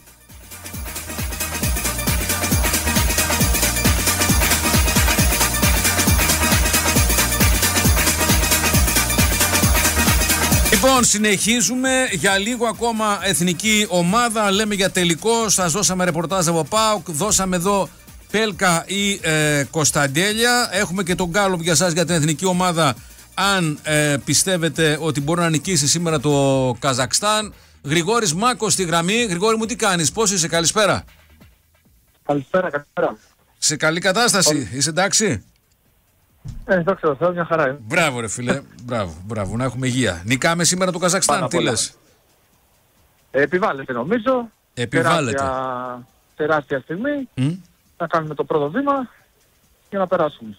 Και νομίζω τα παιδιά το έχουν καταλάβει. Δεν χρειάζεται δηλαδή να το πολύ συζητάμε. Νομίζω ότι είναι πολύ έμπειρα παιδιά πλέον. Είναι σε, σε μεγάλες ομάδες. Ε, έχουν καταλάβει την κρισιμότητα του παιχνιδιού. Μμμ. Ο κόσμος νομίζω έχει πέσει από πάνω από ό,τι έχω διαβάσει. Νομίζω μπορεί να θα έχει πάρα πολύ, πολύ κόσμο. Μμ. Πάμε για sold out οπότε εκτός νομίζω- abrupt. Πάμε για sold out εκτός από το abrupt. Ε, ναι, είναι και πολύ ωραία ημέρα στην Αθήνα σήμερα, οπότε νομίζω και οι κυριακές συνθήκες το επιτρέπουν, ε, οπότε ε, θεωρώ και εύχομαι να πάνε και όλα καλά. Μάλιστα. Ε, πας για προπονητής, δεν πας; Ε, ξεκινάμε τώρα δειλά-δειλά για το πρώτο δίπλωμα, που είναι για τις ακαδημίες και βλέπουμε. δειλά, δειλά. Τι κάτσε, φίλε, ξεκινάς κάτι. Δειλά, με αυτά που έχουμε δει δεν νομίζω ότι είναι πολύ λίγοι νομίζω που πάνε απευθείας με βλέψει ψηλά. Ναι. Δειλά-δειλά. Οπότε να δούμε. Να σε ρωτήσω κάτι, Πού μπορούμε πιστεύεις να φτάσουμε; ότι τα ράσα κάνουν τον παπά ή ο παπάς κάνει τα ράσα; Τι από τα δύο; Κοίτα δεις τώρα, αυτό είναι λίγο μπερδεμένη ιστορία. Στο- Γιατί; Μόνο τώρα για, που ρωτάς για εμάς, Ναι. ε, εγώ δεν θεωρώ, να σου το πω πιο απλά, ότι ένας που έχει παίξει ποδόσφαιρο σε ένα υψηλό επίπεδο, Ναι. δεν είναι και απαραίτητο ότι θα γίνει καλός προπονητής για παράδειγμα. 100%. 100%. Ε, μπράβο. Ε, νομίζω ότι αυτό για μένα ξεκινάω και το λέω με αυτό γιατί και τώρα είμαι με, με πάρα πολλά παιδιά στο, σε αυτή τη φάση τώρα στην Αθήνα Ναι. ε, τα οποία βλέπω ότι έχουν πάρα πολλές γνώσεις για το κομμάτι των ακαδημιών των παιδιών Ναι. Και δεν ταυτίζεται καθόλου ας πούμε με το σκεπτικό το δικό μου που εγώ μπορεί να έχω μείνει στις προπονήσεις που έκανα σαν πιο μεγάλος ε, δεν έχω εικόνα καθόλου από ακαδημίες σε σχέση με τα παιδιά που δίνουμε μαζί. Αχα. Είναι τελείως διαφορετικό. Πες μου κάτι, θεωρείς ότι αυτό που κάνει τον προπονητή είναι το ασκησιολόγιο και πώς κάνει τις ασκήσεις ή η διαχείριση των προσωπικότητων μέσα στα αποδητήρια και της ομάδας; Τώρα ξεφεύγουμε από το δικό μου, έτσι με ρωτάς για τους μεγαλύτερους προφανώς να καταλάβω. όχι Ε, για καλά, αφού πιτσιρικάδες. τόσα χρόνια έπαιζες εσύ, πας να πάρεις το FAC, άρα Εντάξει, ε, πας. θεωρώ στο- είναι, είναι, είναι πολύ δύσκολο για ένα προπονητή να διαχειριστεί τόσα πολλά άτομα και τόσους πολλούς ε, διαφορετικούς χαρακτήρες και προσωπικότητες. Ε, είναι πάρα πάρα πολύ δύσκολο. Εγώ θα το ξαναπώ και τώρα γιατί πραγματικά αυτό μου βγάζει και έχω δει. Ναι, Θεωρώ ότι ο προπονητής της ΑΕΚ, ο κ. Αλμίδα, ναι. μου δείχνει ότι το έχει καταφέρει αυτό που είναι ένα πάρα πολύ δύσκολο έργο. Θεωρώ εγώ που δεν έχω κανένα δίπλωμα προπονητή, έτσι, Ναι. στο παρόν. Ε, και νομίζω ότι θα συμφωνούσαν και άλλοι μαζί μου. Ο Λουτσέσκου Ότι το έχει είναι καταφέρει. πάρα πολύ δύσκολο. Ο Λουτσέσκου το έχει καταφέρει. Ε, Γιατί. Ναι, θεωρώ ότι φέτος, θεωρώ ότι φέτος ναι, και ο Λουτσέσκου. Απλά το Αλμέιδα μου έχει μείνει από την πρώτη στιγμή που ήρθε. Ναι. Θεωρώ δηλαδή το πιο απλό να σου το πω ότι έχει κερδίσει τα αποδητήρια. Ναι, Έχει κερδίσει όλους τους παίκτες. Αυτό μου βγάζει εμένα η ΑΕΚ προς τα έξω. ναι. Ο Πάοκ πέρσι δεν νομίζω ότι είχε- φέτος, τώρα Ναι. που μου το θύμισες, Ναι. ναι. νομίζω θα τολμήσω να πω ότι το έχει καταφέρει και ο Λουτσέσκου. Ναι. Μπορεί να υπάρχουν και άλλοι για άλλους, έτσι. Ναι. Αυτή είναι η άποψη η δικιά μου. Ναι. Αλλά θεωρώ ότι είναι πολύ δύσκολο επειδή με ρώτησε για τις, ε, το σχησιολόγιο είτε για... Ναι. Είναι, πολύ διαφο- είναι πολύ διαφορετικοί χαρακτήρες οπότε σκέψου ότι ένας άνθρωπος έχει να κάνει με 30-35 άτομα, δεν ξέρω πόσο μπορεί να κάνει σε μια ομάδα. Άρα τη διαφορά σε έναν ε, πετυχημένο προπονητή τι την κάνει; Ε, για εμένα θεωρώ ο ίδιος ο προπονητής, ο, ο άνθρωπος αυτός, ο χαρακτήρας του, Η προσωπικότητά πώς θα του. μπορέσει, Ναι. η προσωπικότητά του, ναι, να, πώς θα μπορέσει να κερδίσει από τους παίκτες Ναι. και να τους έχει ετοιμοπόλεμος κάθε στιγμή ό,τι και να χρειαστεί. Άρα δεν έχει σημασία Ούτε αν, αν θα έχω κάνει ασκήσει. ωραία προπόνηση, Μπράβο, μπράβο. Πες τα Ούτε αν γρηγόρη. θα πες τα. κάνει το σωστό το passing game για εμένα. Θα Ναι. ξαναπώ, έτσι. Ναι, όχι, ε, Πρώτα συμφωνώ απ' όλα μαζί και- σου. Δηλαδή εμένα θα με κέρδιζε ένα, δηλαδή ο, ο Αλμέιδα που θα ξαναπώ τώρα, ε, Ναι. εγώ θα, θα ήθελα να, ναι, να παίξω και για αυτόν. Το έχω κάνει στο παρελθόν με άλλους προπονητές. Ναι. Και άλλα παιδιά ξέρω. Ναι. Έτσι. Ε, είναι πολύ σημαντικό και πολύ δύσκολο να πει ένας παίκτης παίζω και για αυτόν. Ναι. Και δεν νομίζω θα το πει κάποιος γιατί είτε θα τον βάζει συνέχεια να παίζει, είτε γιατί στην προπόνηση θα κάνει τρομερό passing game Ναι. ή πολύ ωραίο ζέσταμα. Είναι όλο αυτό το πακέτο. Αλλά για μένα το κεφάλι, για προσωπικά για μένα ξεκινάει από τον άνθρωπο, τον προσωπικότητα αυτού του ανθρώπου. Έχεις απόλυτο δίκιο. Πες μου έναν προπονητή που είπες εσύ όσο έπαιζες θα παίξω για αυτόν. Σε μια δύσκολη στιγμή στον Πανιόνιο με τον Εύαλτ Λίνεν Ναι. που είχαμε όλοι μαζί έτσι μαζευτεί και, και βγήκε και πήγαμε το διπλό από τις αίρες ας πούμε για παράδειγμα. Ήταν ε, με την πλάτη στον τοίχο. Ήταν Ναι. δύσκολη η κατάσταση στην ομάδα τότε. Και έπαιξες και για τον προπονητή τότε. Ε, βάζω και τον αυτό μου γιατί ήμουν και εγώ μέσα στα παιδιά αυτά που συζητάγαμε και είχαμε περάσει μια τέτοια στιγμή. Μπράβο. Δεν είναι κακό, δεν είναι καθόλου κακό έτσι. Μα αυτό είναι θετικό, δεν είναι, κα- αυτό είναι απόλυτα θετικό. Βέβαια. Οπότε θα γίνεις Εγώ δεν προ- νομίζω τώρα αυτή τη στιγμή να ρωτήσει ένα παίκτη Σάικ ότι θα σου πει το αντίθετο. Ότι- Δεν μου βγαίνει εμένα δηλαδή, δεν μου βγάζει κάποιον. α. Ναι. Όχι, έχεις δίκιο. Και έτσι πρέπει. πρέπει ο προπο- Είναι αυτό που είπες. Είναι δηλαδή ο Μουρίνιο δεν τον κάνει το Μουρίνιο να είναι the special one. Η προσωπικότητα που έχει, ε. Τον Γκουαρδιόλα. Εντάξει, ναι. Το ίδιο. Ο δεν κα- είναι ούτε το Είναι, ασκησιολόγιο. είναι αυτό που λέμε ο τρόπος του. Ο Ναι. καθένας έχει και τον τρόπο του, έτσι, σίγουρα. Και είναι και τι ο, μετά ο παίκτης ζητάει. Ναι. Λοιπόν, ε, τι να ευχηθώ; Να ευχηθώ τίποτα για Πανιόνιο θέλεις; Εντάξει, να ευχηθούμε σίγουρα στον Πανιόνιο να ξεφύγει από τώρα που ξεφεύγει από την κατηγορία. Ναι. Βλέπω ότι έχει και έναν άνθρωπο που ανεβαίνει. ενδιαφέρεται. Κάπου είδα ότι υπάρχει κάποιος ενδιαφέρεται για τον Πανιόνιο. Το είδα κάπου. Το Ναι, βγήκε στο μάτι. υπάρχει κάτι από ό,τι έχω ακούσει και εγώ από τριγύρω φίλους του Πανιωνίου. Υπάρχει μια σοβαρή περίπτωση με έναν επενδυτή. Μακάρι να καρποφορήσει, να προχωρήσει. Γιατί είναι κρίμα ομάδες σαν τον Πανιόνιο με τόσο κόσμο όπως και άλλες να είναι στις καλές κατηγορίες. Ε, εγώ είμαι υπέρ και του επαρχιακού, των επαρχιακών έτσι ομάδων που λέω εισαγωγικά που έχουν πάρα πολύ κόσμο και Ναι. μαζεύουν και να υπάρχουν άλλες πάνω που οι οποίες ε, είτε θα είναι μέσα σε περίεργα πράγματα είτε δεν θα υπάρχει ε, κόσμος τέλος πάντων με 20 και 30 φιλάθλους και για άλλους λόγους είναι εκεί πέρα, είναι κρίμα πραγματικά. Ε, θεωρώ ότι όλοι, δεν νομίζω ότι υπάρχει ένας που να μην θέλει να βλέπει τα γήπεδα γεμάτα, πάντα σε καταστάσεις βέβαια φιλήσυχες, έτσι εννοείται. Ε, μακάρι να μπορούσαμε κάποια στιγμή που εγώ ευτυχώς το πρόλαβα και μ' άρεσε να δούμε ξανά φιλάθλους και των δύο ομάδων στα γήπεδα. Μμ. Μακάρι και όχι μόνο στις μικρές ομάδες και εννοείται και στα ντέρμπι, έτσι σε όλα. Ε, από εκεί και πέρα τώρα να ευχηθείς υγεία πάρα απ' όλα. Άστο, σε βλέπω Προσωπικά- φιλοσοφημένο, πας για προπονητής καρφί. Σε ευχαριστώ, Γρηγόρη. Σε ευχαριστώ πάρα Να είστε πολύ. καλά. Θα Να τα είστε καλά. ξαναπούμε, Καλή φίλε. επιτυχία Θα τα στην εθνική μας ξαναπούμε. Θα τα ξαναπούμε. Ευχαριστώ πάρα πολύ. Προχωράμε.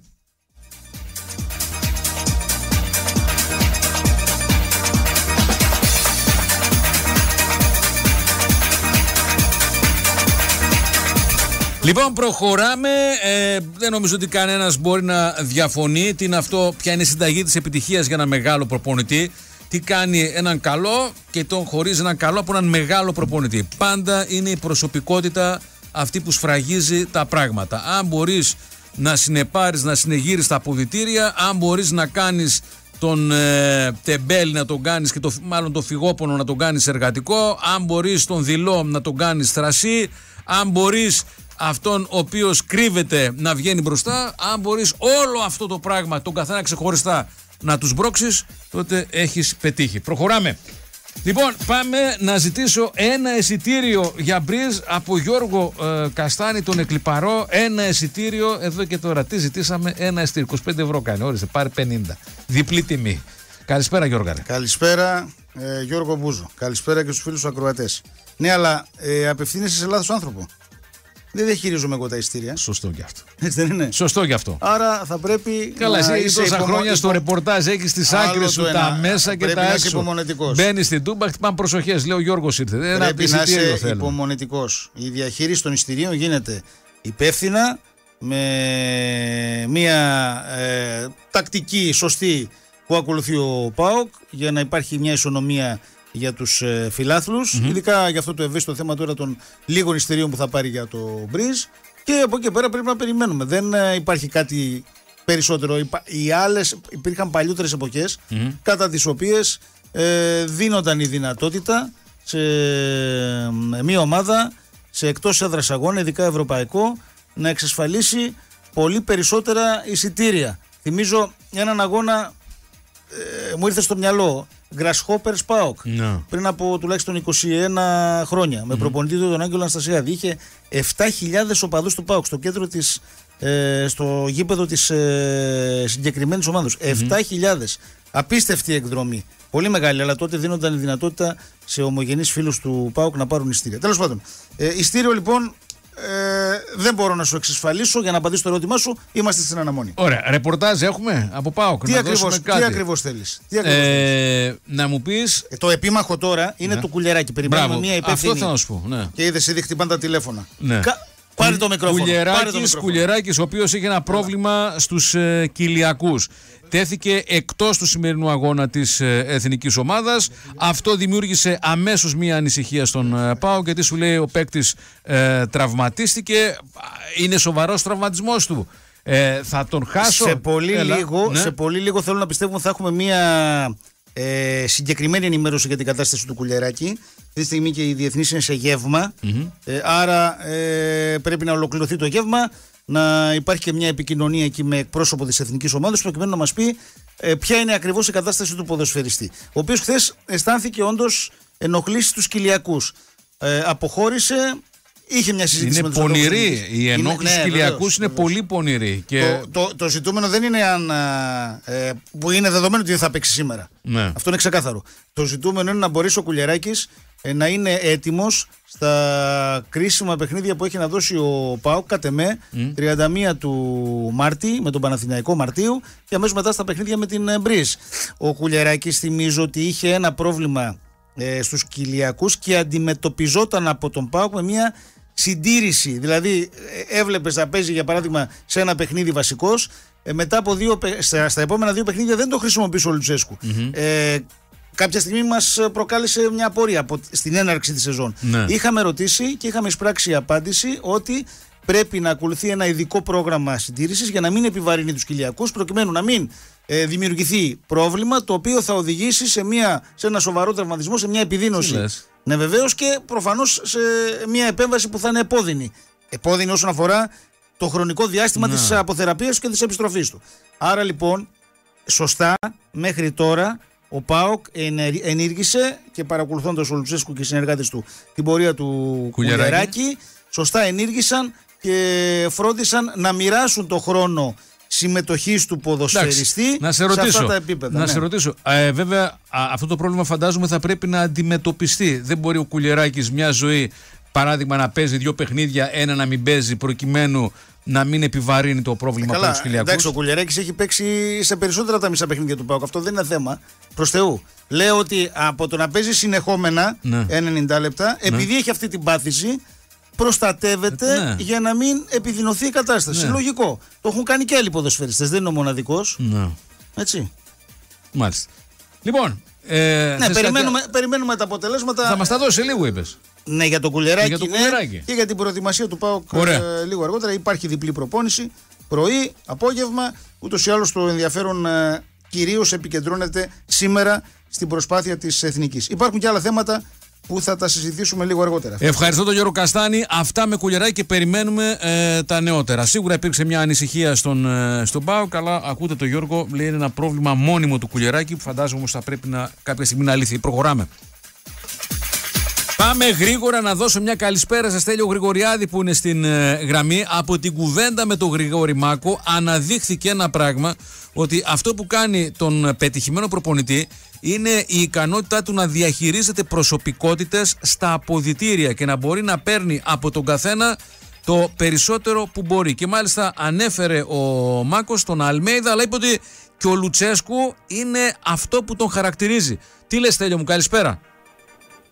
Καλησπέρα. Ε, νομίζω δεν υπάρχει κανείς να διαφωνήσει σε αυτό. Δηλαδή αν ψάξουμε να βρούμε τους κορυφαίους προπονητές στον πλανήτη Γη, Ναι. δεν θα βρούμε ένα σπουδαίο πρώην ποδοσφαιριστή ανάμεσά τους. Θα μπορούσε να συμβεί. Ναι. Δεν συμβαίνει.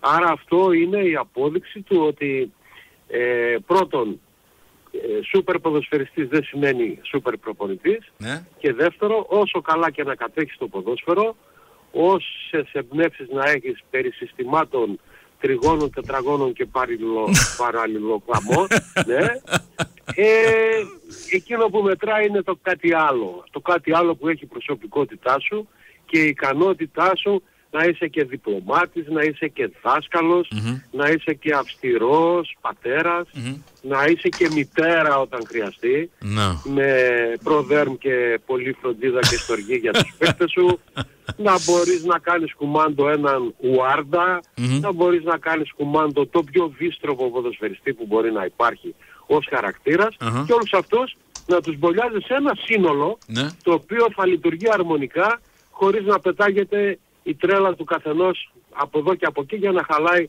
το σύνολο. Να. Είναι πολύ σπουδαία υπόθεση αυτή και όποιος τα καταφέρνει και έχει βέβαια και υλικό, γιατί να σου πω κάτι, μπορεί να υπάρχει ένας ικανότατος προπονητής ε, στην Παναχαϊκή σήμερα. Ναι. Ικανότατος. Να δίνει, να δίνει ρεσιτάλ στη διαχείριση των ποδοσφαιριστών. Αλλά να μην έχει ποδοσφαιριστές ικανούς για να ανεβάσουν την ομάδα ψηλά. Είναι απαραίτητο να έχεις και τους πολύ καλούς παίκτες για να επιτύχεις τα αποτελέσματα που θες με βασικό βοηθό την ικανότητά σου να διαχειρίζεσαι τους παίκτες. Ναι. Ε, μισό λεπτό Στέλιο, να πάω σε Θέλω να παρακαλώ. πω αν βάλεις Ναι. τον Guardiola στη Βερόνα Ναι. και στη Μόντζα Ναι. δεν νομίζω ότι μπορούν εύκολα να πάρουν πρωτάθλημα Ναι. αφού δεν έχουν τα υλικά για να το κάνουν. Ε, εννοείται αυτό. Και τον καλύτερο οδηγό της Φόρμουλα 1 να έχει, αν δεν του δώσει το Ακριβώς. μονοθέσιο, πού να πάει; Ακριβώς. Με ζάσταμα Έτσι. δεν θα πάει πουθενά. Ε, συγχώρεσέ με λίγο. Θέλω να σχολιώσω, αλλά πρώτα να ακούσουμε τον ε, συνάδελφό μας, τον Μπάμπη Τσιμπίδα, το ρεπόρτερ του Παναθηναϊκού, γιατί ο Παναθηναϊκός έκανε μια πολύ σπουδαία μεταγραφή. Παίρνει τον Μαξίμοβιτς, για τον οποίο θα θυμάσαι ότι είχε γίνει πάρα πολύ κουβέντα και στο, και στο Μπάουκ. Είχε γίνει σύριαλ. Σαφώς. Είχε γίνει σύριαλ το καλοκαίρι. Ο Μαξίμοβιτς εδώ, ο Μαξίμοβιτς εκεί. Ο Μαξίμοβιτς είναι στον Παναθηναϊκό. Μπάμπη, τι κάνεις, καλησπέρα. Καλησπέρα, καλησπέρα. Ε, ήταν ουσιαστικά η επισημοποίηση μιας ε, προδιαγεγραμμένης μεταγραφής, να το πω έτσι, γιατί ο Μαξίμοβιτς ε, είχε υπογράψει με τον Παναθηναϊκό ε, από τις 21-22 Ιανουαρίου. Ε, απλώς ήρθε εδώ πέρα και για τα τυπικά, δηλαδή να βγει και τις φωτογραφίες, να, να βάλει και τις επίσημες υπογραφές, να υπάρξει και η, η ανακοίνωση, να το πω έτσι. Να μην γινόταν δηλαδή μια ανακοίνωση μακρινή χωρίς τον παίχτη να έχει έρθει καθόλου στην, ε, στην Αθήνα. Ναι. Ε, αλλά όπως και να έχει, εντάξει, είναι η πρώτη μεταγραφή για το καλοκαίρι. Ε, είναι μια μεταγραφή που έχει και προεκτάσεις, θα πω εγώ, που δείχνει και την πολιτική που θα ακολουθήσει ο Παναθηναϊκός στο καλοκαίρι. Δηλαδή θα πάει για ποδοσφαιριστές που θα τον ανεβάσουν ε, επίπεδο με το αντίστοιχο οικονομικό κόστος. Υπέγραψε για τρία χρόνια. Ναι. Ε, η μεταγραφή θα ισχύσει επί της ουσίας την 1η Ιουλίου. Θα τελειώσει ο Μαξίμοβιτς και στο, και στο Euro με τη Σερβία θα πάει γιατί έχει αυτός τις υποχρεώσεις του και μετά θα έρθει στον, ε, στον Παναθηναϊκό για να τεθεί και στη διάθεση του, του προπονητή για την προετοιμασία του καλοκαιριού. Έχεις να μας δώσεις, παρακαλώ, ε, λεπτομέρειες για συμφωνίες, τα οικονομικά και όλα τα υπόλοιπα; Ναι, ναι, ο Μαξίμοβιτς ε, θα, πά- θα έχει πάγιες αποδοχές καθαρές περίπου στο 1,6 εκατομμύρια ευρώ το χρόνο. Wow. Ε, με από, το, από το καλοκαίρι και μετά, αν δεν αλλάξει κάτι με κάποιον άλλο παίκτη, θα είναι ο δεύτερος πιο ακριβοπληρωμένος μετά τον Αράο. Ε, τώρα είναι ο Μπερνάρ που παίρνει 2,5 εκατομμύρια ευρώ, αλλά ο Μπερνάρ έχει ήδη συμφωνήσει με τη Μινέιρο και το καλοκαίρι θα αποχωρήσει. Και είναι ουσιαστικά ότι και το οικονομικό έπαιξε και πολύ μεγάλο ρόλο σε αυτό το κομμάτι, όπως και η διάρκεια της συμφωνίας, γιατί έχει πάρει τριετές συμβόλαιο, οπότε είναι εξασφαλισμένος για τρία χρόνια. Έχει και τους συμπατριώτες του εδώ και τον Μλαντένοβιτς και τον Τζούρισιτς για τουλάχιστον ε, ένα χρόνο. Ε, ο Αράου, για να έχουμε και μια εικόνα, είναι στο, στο 1,8 εκατομμύρια ευρώ ετησίως ουσιαστικά. Ευχαριστώ πάρα πολύ, Μπάμπη. Ευχαριστώ πάρα πολύ. Ευχαριστώ πάρα Καλή πολύ τον συνέχεια. ε, Μπάμπη Τσιμπίδα. Να πάω, Στέλιο, θα μπορούσε λες, ο Πάοκ να δώσει 1,6 για τον ε, Μαξίμοβιτς γιατί και τα δεδομένα στον ΠΑΟΚ νομίζω δεν ξέρω ποιος είναι το ταβάνι αυτή τη στιγμή ο Ζίβκοβιτς πρέπει να είναι κοντά στο 1,5 εκατομμύριο με την ανανέωση Α, ναι. Κοίταξε, παίζει ρόλο και το financial fair play, έτσι. ναι, Δηλαδή δεν μπορείς ακόμη και να τα έχεις να δώσεις 10 εκατομμύρια για ένα παίκτη, ναι, 15 για έναν άλλον, αν μπορείς λέω. ναι, Διότι θα έρθει το financial fair play και θα σου πει αλλά εδώ πότε έσχες. Ναι. Από πού και σπου. ναι. Από πού και σπου. Ναι. Δεν γίνεται. Ε, ας υποθέσουμε όμως ότι ε, εντάξει δεν χρειάζεται να δώσεις 15 και 10 αλλά τα δύο μπορείς να τα δώσεις ή τα 2,5 ή το 1,5. Ναι. Εγώ χαίρομαι με τέτοιου τύπου μεταγραφές διότι ο ένας μεγάλος παρακινεί τον άλλον. ναι. Τώρα ο Παναθηναϊκός τι, τι μήνυμα στέλνει; Στον Ολυμπιακό, στην ΑΕΚ, στον ΠΑΟΚ. Μμμ. Γιατί αυτοί είναι οι μόνοι που μπορούν οικονομικά να ακολουθήσουν. Μμμ. Κύριοι, εγώ θα γίνω ακόμη πιο δυνατός, θα πάρω έτοιμους παίκτες, ε, φτασμένους, έμπειρους, Μμμ. πολύ μεγάλης αξίας, γιατί θέλω να επικρατήσω στο ελληνικό ποδόσφαιρο και θέλω να κάνω και μια πορεία στην Ευρώπη. Μμμ. Άρα λοιπόν, ποιο είναι το μήνυμα για να με ακολουθήσετε εσείς και να με ξεπεράσετε, Μμμ. θα πρέπει να κάνετε αντίστοιχες κινήσεις. Μμμ. Λοιπόν, εγώ έχω την ελπίδα ότι ο ΠΑΟΚ θα ακολουθήσει και θα ακόμη και να ξεπεράσει ας πούμε τις μεταγραφές του όποιου Παναθηναϊκού, της όποιας ΑΕΚ, γιατί σίγουρα δεν θα καθίσουμε σταυρωμένα τα χέρια και Ναι. του Ολυμπιακού φυσικά. Ναι. Πάντως εδώ το 1,6 δείχνει ότι ο, ο πύχης σηκώνεται ψηλά. Όταν φέρνει ένα παίξο, ο Παναθηναϊκός του δίνει 1,6 και στον ΠΑΟΚ υπάρχει μια άλλη διαχείριση. Δηλαδή πώς θα το μαζέψουμε και όχι πώς θα το απλώσουμε. Δημιουργεί Εντάξει, ένα αυτό, θέμα. ότι Ο πύχης πρέπει να είναι ψηλά και πρέπει να έχει την ικανότητα να περάσει από πάνω. Μμμ. Διότι αν δεν περάσει αυτό το πύχη, Ναι. ε, δεν θα μπορέσει να περάσει κανέναν άλλο πύχη. ναι. Όσο πιο καλό υλικό διαθέτεις, τόσο πιο πολλές δυνατότητες έχεις να πετύχεις τους στόχους σου, να κατακτήσεις τίτλους, να κάνεις πορεία στην Ευρώπη. Μάλιστα. Πες μου και για εθνική κερδίζει σήμερα η εθνική τι λες για να πάρεις μέρος και στον Νομίζω κάλο που κερδίζει, έχουμε. εύκολα. Ε, Γιώργο κερδίζει, εύκολα ή δύσκολα κερδίζει. Τώρα ε, Καζακστάν λέμε και από μέσα μας λένε άλλα μωρέ και τι έγινε. Δεν είναι έτσι. Δεν είναι έτσι. Στο ποδόσφαιρο, αν δεν δώσεις την προσοχή που πρέπει, ο κάθε αντίπαλος μπορεί να σου κάνει ζημιά. Μμμ. Και να σου πω και κάτι. Ναι, ναι. Δεν έχουμε και πολύ ξεκάθαρη εικόνα και και σε Καζακστάν. Εντάξει. Ε, λίγο πολύ είναι άγνωστη η ιστορία. Για να δούμε. Αλλά πιστεύω ε, με τις συνθήκες που γίνεται το μάτς, ένα γήπεδο γεμάτο Μμ. στην έδρα μας, Μμ. ε, νομίζω ότι η Ελλάδα έχει τον πρώτο λόγο. Στέλιο μου, ευχαριστώ πάρα πολύ. Ευχαριστώ πάρα πολύ τον ε, Στέλιο Γρηγοριάδη. Ε, προχωράμε. Λοιπόν, ο ΠΑΟΚ μετά την επική του ανατροπή είναι στους 8 του Europa Conference League. Εσύ το βλέπεις αποκλειστικά στην Κοσμοτέ TV. Οπότε μη χάσεις τις μεγάλες ευρωπαϊκές μάχες του ΠΑΟΚ στην Ευρώπη, οι οποίες συνοχίζονται αποκλειστικά, αποκλειστικά και μόνο στην Κοσμοτέ TV. Θα πάμε σε διαφημιστικό διάλειμμα, θα πάμε σε λίγες διαφημίσεις. Δεν θα φύγετε, σε πάρα πολύ λίγο επιστρέφουμε. Επιστρέψαμε, εδώ είμαστε. Εμείς είμαστε εδώ και ο ΠΑΟΚ είναι στους 8 του Europa Conference League. Ο ΠΑΟΚ είναι εκεί, το βλέπεις αποκλειστικά στην Κοσμοτέ TV, οπότε δεν χάνεις τίποτα, είσαι Κοσμοτέ TV και απολαμβάνεις τις μεγάλες ευρωπαϊκές μάχες του ΠΑΟΚ στην Ευρώπη, οι οποίες συνεχίζονται αποκλειστικά και μόνο στην Κοσμοτέ TV.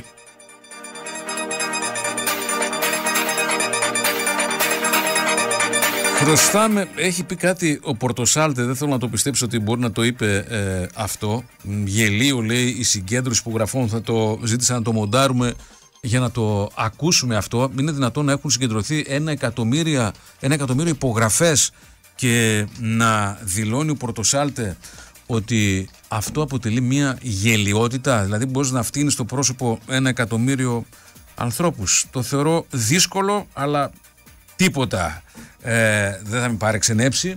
Ε, θα πάμε και σε κάτι άλλο σε λίγο. Δώσε μου τη δήλωση Πορτοσάλτε, σε παρακαλώ πάρα πολύ. Βεβαίως, αυτό είναι αλλαγή συνταγματική. Ναι, δεν αλλάζει. αλλάζει. Καλή Βάζουν τον αναθεώρηση κόσμο, του Βουλή. βάζουν τον κόσμο Ούτε να ο μαζεύει ΣΥΡΙΖΑ, υπογραφές. ούτε το Αυτά είναι ΠΑΣΟΚ. γελιότητες. Ούτε ο ΣΥΡΙΖΑ ούτε το ΠΑΣΟΚ. Ούτε το Όχι, Πασόκ είπαν, και ζήτησε οι δύο. συνταγματική αλλαγή. Όχι, Αυτά που βάζουν τώρα την κοινωνία και βάζει υπογραφές είναι γελιότητες. Είναι γελιότητε πραγματικά. Είναι, δηλαδή είναι σαν να ζούμε σε μια δημοκρατία την οποία οι ίδιοι θέλουν να την κάνουν μπανανία. Απίστευτο. Απίστευτο Πορτοσάλτε λέει ότι η συγκέντρωση υπογραφών αποτελεί γελιότητα. Ένα εκατομμύριο και Έλληνες πήγαν να προσυπογράψουν προκειμένου να πέσει φως στην, στο τραγικό δυστύχημα των τεμπών. Προκειμένου να αρθεί βουλευτική ασυλία. Προκειμένου να σβηστεί διαπαντός ο νόμος περί ευθύνης υπουργών και ο Πορτοσάλτε λέει ότι αυτό αποτελεί γελιότητα. Βέβαια ο καθένας έχει δικαίωμα να λέει αυτό που θέλει, αλλά αυτό αποτελεί μια ευθεία προσβολή στον κόσμο.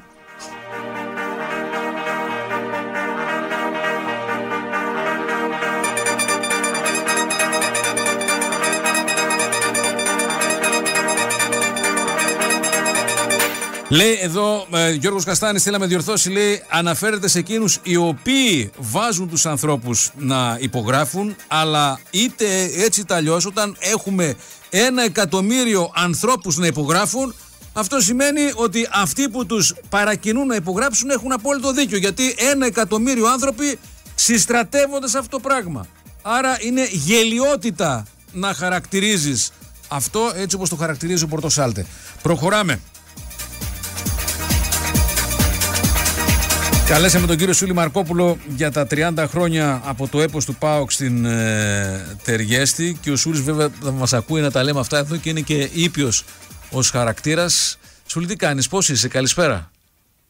Μια χαρά, εσείς τι κάνετε; Όλα καλά, γερός, δυνατός; Όλα καλά, όλα καλά. Εσύ τι, έχεις άποψη για αυτό που κουβεντιάζουμε, αν αποτελεί γελιότητα ή όχι η συλλογή υπογραφών για τα, για τα τέμπη; Ε, σίγουρα γελιότητα δεν, είναι, δεν αποτελεί. Αλλά καλύτερα είναι να αφήσουμε τη δικαιοσύνη να κάνει όσο το δυνατόν το έργο τους με τον καλύτερο τρόπο. Ξέρεις ότι... Δεν πρέπει να επιβαίνουμε στη δικαιοσύνη, εγώ Ναι. αυτό πιστεύω. Για άλλο σε κάλεσα, αλλά εδώ πάει αλλού η κουβέντα τώρα. Ξέρεις, ένας από τους λόγους που δεν αναβαθμίστηκε η ελληνική οικονομία ε, είναι η χαρακτηριστική καθυστέρηση στην απονομή της δικαιοσύνης. Έρχεται ένας, για παράδειγμα, να επενδύσει τα λεφτά του στην Ελλάδα, γίνεται μια προσφυγή του Συμβούλους της Επικρατείας, πάει 10 χρόνια να εκδικαστεί αυτό το πράγμα και να τελεσυδικήσει. Οπότε σου λέει άλλος, εγώ τι να πάω να βάλω τα λεφτά μου, γιατί πώς να επενδύσω σε μια χώρα που για να βρω το δίκαιο μπορεί να με πάρει 10 χρόνια, μπορεί να μιζώ μέχρι τότε.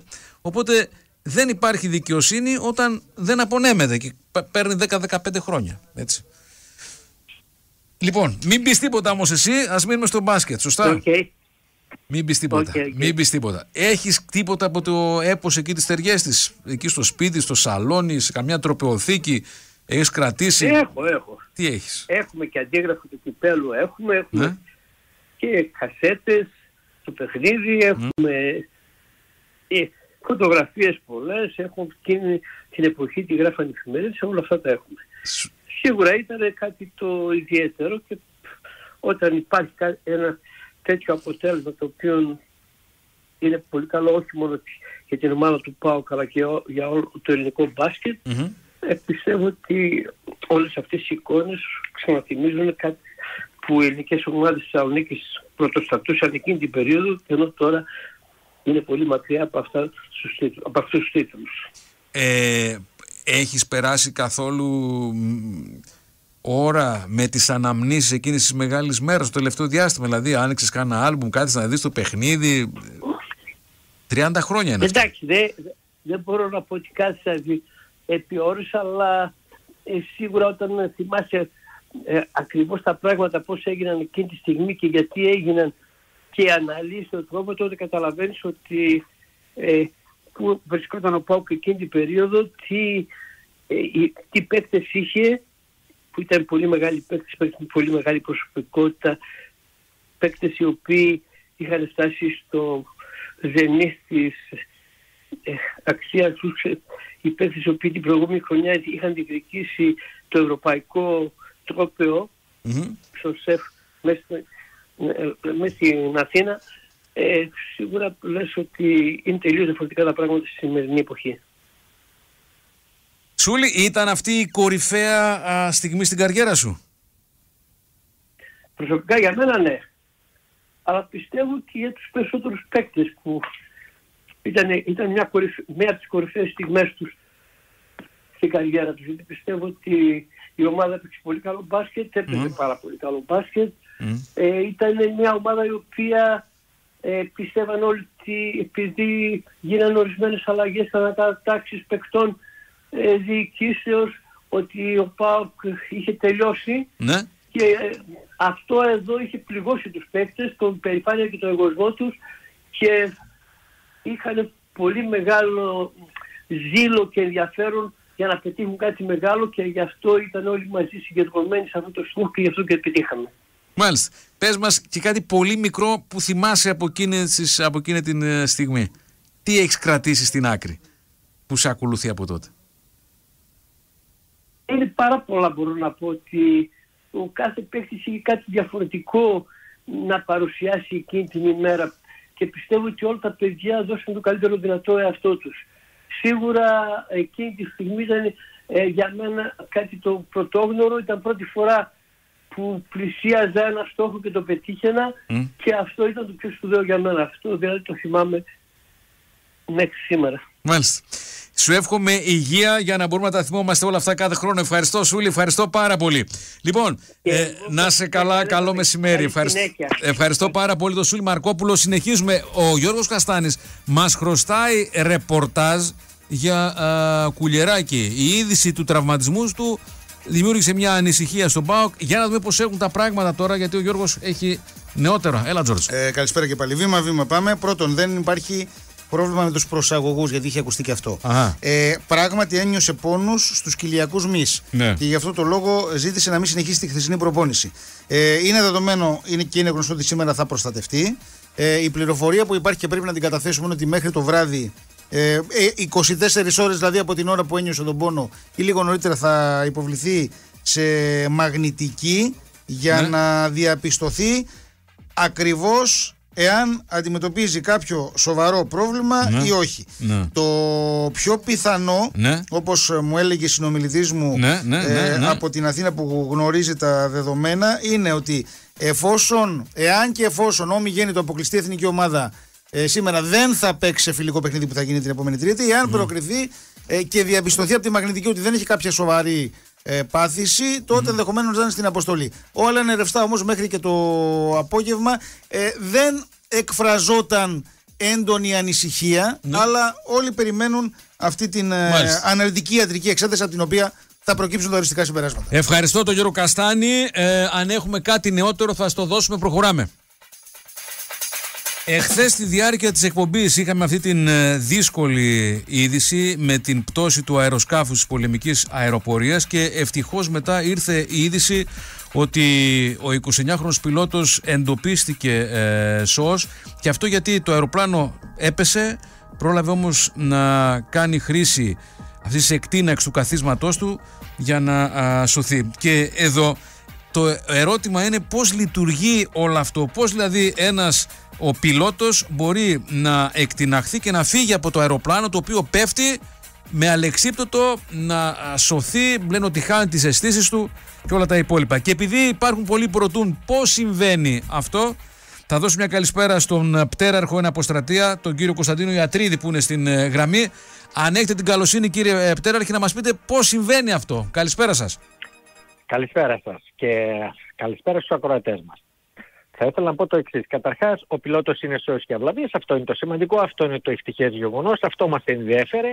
Από εκεί και πέρα, από ό,τι λένε οι πληροφορίες, είχε βλάβη στον κινητήρα, έκανε τις ενέργειες και δεν υπήρχε άλλη λύση παρά μόνο να εγκαταλείψεις. Σε αυτή την περίπτωση, όταν πάρει την απόφαση, Ναι. πιάνει τη χειρολαβή η οποία βρίσκεται ανάμεσα στα πόδια, Ναι. την οποία τραβάς, Ναι. ενεργοποιούνται οι ρουκέτες που είναι κάτω από το κάθισμα Ναι. Για να σε εκτινάξει με τον καταπέλτη έξω από το αεροπλάνο αφού φύγει πρώτα η καλύπτρα Ναι. και αυτός ο χρόνος περίπου είναι της τάξεως των δύο δευτερολέπτων. Χάνεις προς το παρόν τις αισθήσεις σου γιατί οι επιταχύσεις, τα λεγόμενα Gs, είναι πάρα πολλά, είναι κάπου 22 Gs. Ναι. Χάνεις για 2-3 δευτερόλεπτα τις αισθήσεις σου μέχρι που ανοίγει το αλεξίπτωτο, συνέρχεσαι και από εκεί και πέρα πλέον πέφτεις είτε στην ξηρά είτε στη θάλασσα. Ναι. Ε, θεωρείτε, γιατί πολλοί δεν προλαβαίνουν να εκτιναχθούν με αποτέλεσμα να έχουμε μοιραίες καταλήξεις; Θα σας πω, πάντοτε μια ασφαλής εγκατάλειψη εξαρτάται από το ύψος και από την ταχύτητα. Μμμ. Στα καθίσματα αυτά, όπως είναι στο αεροσκάφος αυτό συγκεκριμένο, τα Ναι. Block 52 Plus που είναι σύγχρονα, Ναι. είναι τα λεγόμενα καθίσματα τετάρτης γενιάς, Ναι. τα οποία έχουν αισθητήρες, Ναι. έχουν τη δυνατότητα, όπως και τα παλαιότερα, τα Martin Baker, αυτά είναι πιο εξελιγμένα, από μηδενική ταχύτητα και μηδόν ύψος Μμμ. να εγκαταλείψεις. Ακόμη δηλαδή και από το έδαφος μπορείς να εγκαταλείψεις γιατί σε εκτινάσει σε ένα ύψος περίπου 90 με 100 μέτρα Μμμ. που είναι αρκετά ούτως ώστε να ανοίξει το αλεξίπτωτο και να πέσει στο έδαφος. Α, Στο συγκεκριμένο κάθισμα του συγκεκριμένου αεροσκάφους Μμμ. εάν είναι ε, στο έδαφος χρειάζονται δύο δευτερόλεπτα να εγκαταλείψεις. Μμμ. Αν είσαι στον αέρα σε χαμηλό όμως ύψος, Ναι. σε μια μεσαία ταχύτητα, Ναι. θέλει περίπου ένα δευτερόλεπτο. Μάλιστα. Και βεβαίως υπάρχει και το τρίτο mode, Ναι. Γιατί σε mode είναι, το mode 1 είναι από 0 ύψος 0 ταχύτητα, το δεύτερο mode είναι σε χαμηλό ύψος με μια μεσαία ταχύτητα και το τρίτο mode που λειτουργεί Ναι. όταν εγκαταλείψεις είναι σε μεγάλα ύψη που σημαίνει ότι εγκαταλείπεις αλλά δεν ανοίγει το αλεξίπτο διότι ε, η θερμοκρασία σε μεγάλα ύψη πάνω από 10.000 πόδια, 15-17 είναι πάρα πολύ χαμηλές άρα λοιπόν ο χειριστής θα έχει πρόβλημα δεν ανοίγει γιατί καθυστερείς να πέσει ανοίγει όταν πέσει κάτω από τα 10.000 πόδια διότι έχει αισθητήρε ύψους οπότε φεύγει το κάθισμα τότε και ανοίγει το αλεξίπτο για να μην πάθει κρυοπαγήματα ή οτιδήποτε άλλο σοβαρότερο ο χειριστής. Μάλιστα. Αυτό βέβαια όπως καταλαβαίνω ε, το λέμε και το περιγράφετε κι εσείς πάρα πολύ όμορφα αλλά αποτελεί τεράστια αποθέματα ψυχραιμίας εκείνη τη στιγμή να μην χάσει τον έλεγχο. Εκείνη ε. την ώρα σκέφτεσαι ε, το πώς, εφόσον δεν μπορείς να σώσεις το αεροπλάνο, το πώς θα επιβιώσεις. Δεν υπάρχει άλλη λύση, υπάρχει μόνο το εκτιμασόμενο κάθισμα. Μμμ.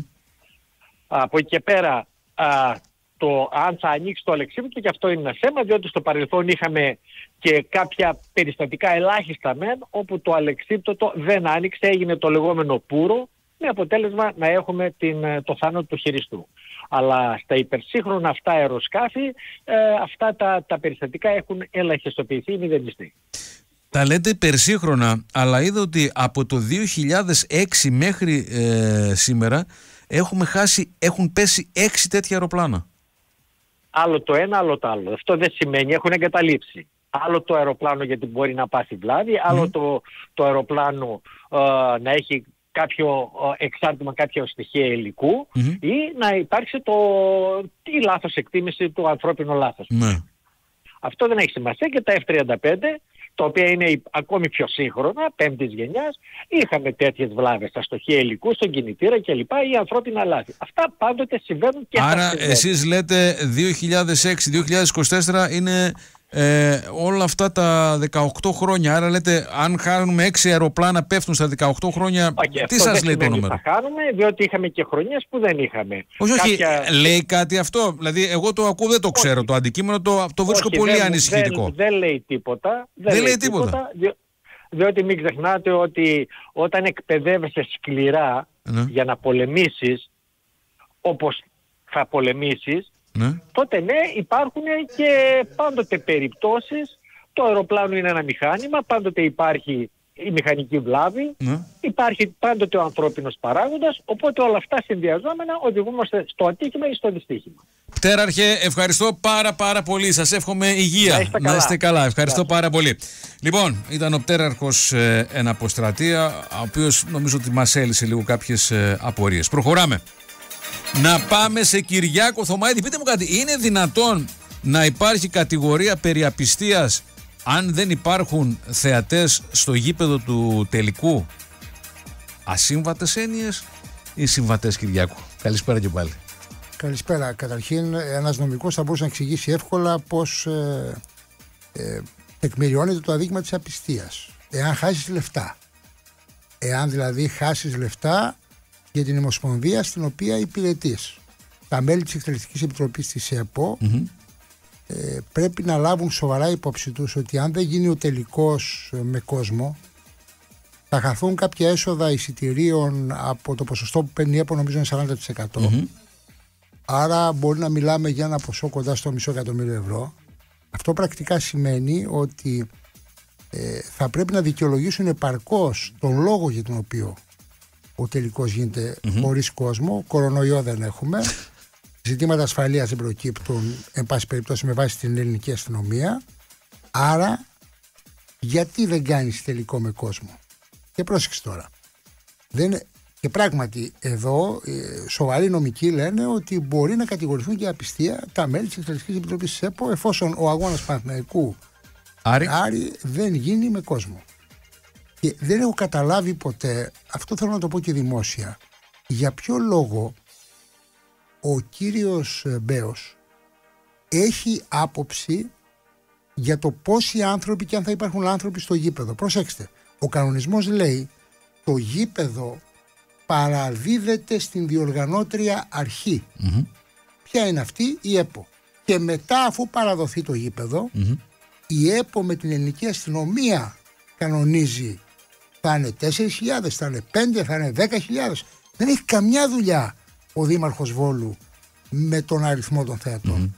Και δεν καταλαβαίνω γιατί η ΕΠΟ έχει εξοκύλει αυτή τη συζήτηση και δεν σηκώνεται ένας να πει με συγχωρείτε πάρα πολύ, αλλά δεν θα πας εσύ για απιστία Μπέο, θα πάω εγώ. Ναι. Βέβαια, ε, αυτό θα σου το αντιπαραβάλλω. Είναι σαν να κάνουμε ένα πάρτι στο σπίτι σου και μας δίνεις στο σπίτι σου εσύ να κάνουμε το πάρτι και μας το παραδίδεις. Αλλά φαντάζομαι θα λες ότι εγώ σας το δίνω το σπίτι για το πάρτι, αλλά εσείς θα έχετε μέχρι 20 άτομα, θα σταματήσετε να παίζετε μουσική στις 11 γιατί ενοχλείτε και πάει λέγοντας. Το θέμα ξέρεις ποιο είναι εδώ, ότι η ΕΠΟ κινείται ερασιτεχνικά. Γιατί όταν ε, δεσμεύεις ένα γήπεδο με, για τον τελικό, δεν το δεσμεύεις στα λόγια. Το δεσμεύεις εγγράφο, το δεσμεύεις νομικά, βάζεις ρήτρες, αξιώνεις ε, εκατομμύρια. Οπότε εκεί ο άλλος δεν μπορεί να α, υπαναχωρήσει από τη στιγμή που στο δίνει, ούτε θα ικανοποιήσεις εσύ τις δικές του απαιτήσεις. Κοίταξε. Ε, έχει αντίλογο αυτό που λες δηλαδή το σπίτι μου βέβαια είναι ένας ιδιωτικός χώρος και ασφαλώς θα σου βάλω ζητήματα Α, εδώ μιλάμε για ένα δημοτικό μάλλον για ένα ε, κρατικό γήπεδο που στην ουσία το τρέχει ο Δήμος Βόλου, το έχει παραχωρήσει το κράτος στο Δήμο Βόλου. Ε, νομίζω ότι δεν είναι έτσι ακριβώς με βάση το κανονιστικό πλαίσιο. Δεν έχω δει πουθενά να γίνεται παράδοση γηπέδου με συμφωνία θεατών. Γιατί, Γιατί ο κύριος Μπέος πρέπει να αποφασίσει αν είναι δήμαρχος ή είναι αστυνομικός διευθυντής.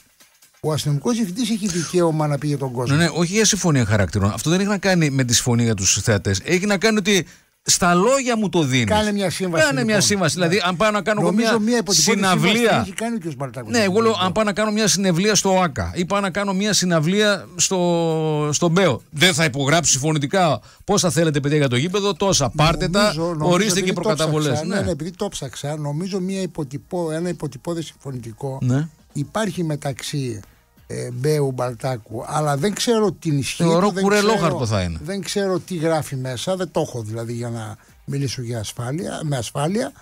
Ε, εν πάση περιπτώσει. η Και τι ΕΠΟ- περιέχει μέσα, έτσι; Ναι, ναι. Τι ασφαλώς, όρους πρέπει να το περιέχει; δω. Ναι, Ναι. πρέπει να το δω. Ε, Μπορεί η- να δουν η το ΕΠΟ- δικαίωμα στον ΜΠΕΟ να αποφασίσει με κόσμο ή χωρίς κόσμο. Κάτι δεν το ξέρει. Αν έχουν υπογράψει Ναι. δύο πράγματα, έχει πλάκα. Ναι, ναι. Να το βρούμε. Να το βρούμε. Αλλά ε, επιμένω λίγο στο θέμα της, ε, του, του νομικού ζητήματος που θα προκύψει για την ΕΠΟ και τα μέλη της Εκτελεστικής Επιτροπής. Πρέπει να το λάβουν σοβαρά υπόψη τους.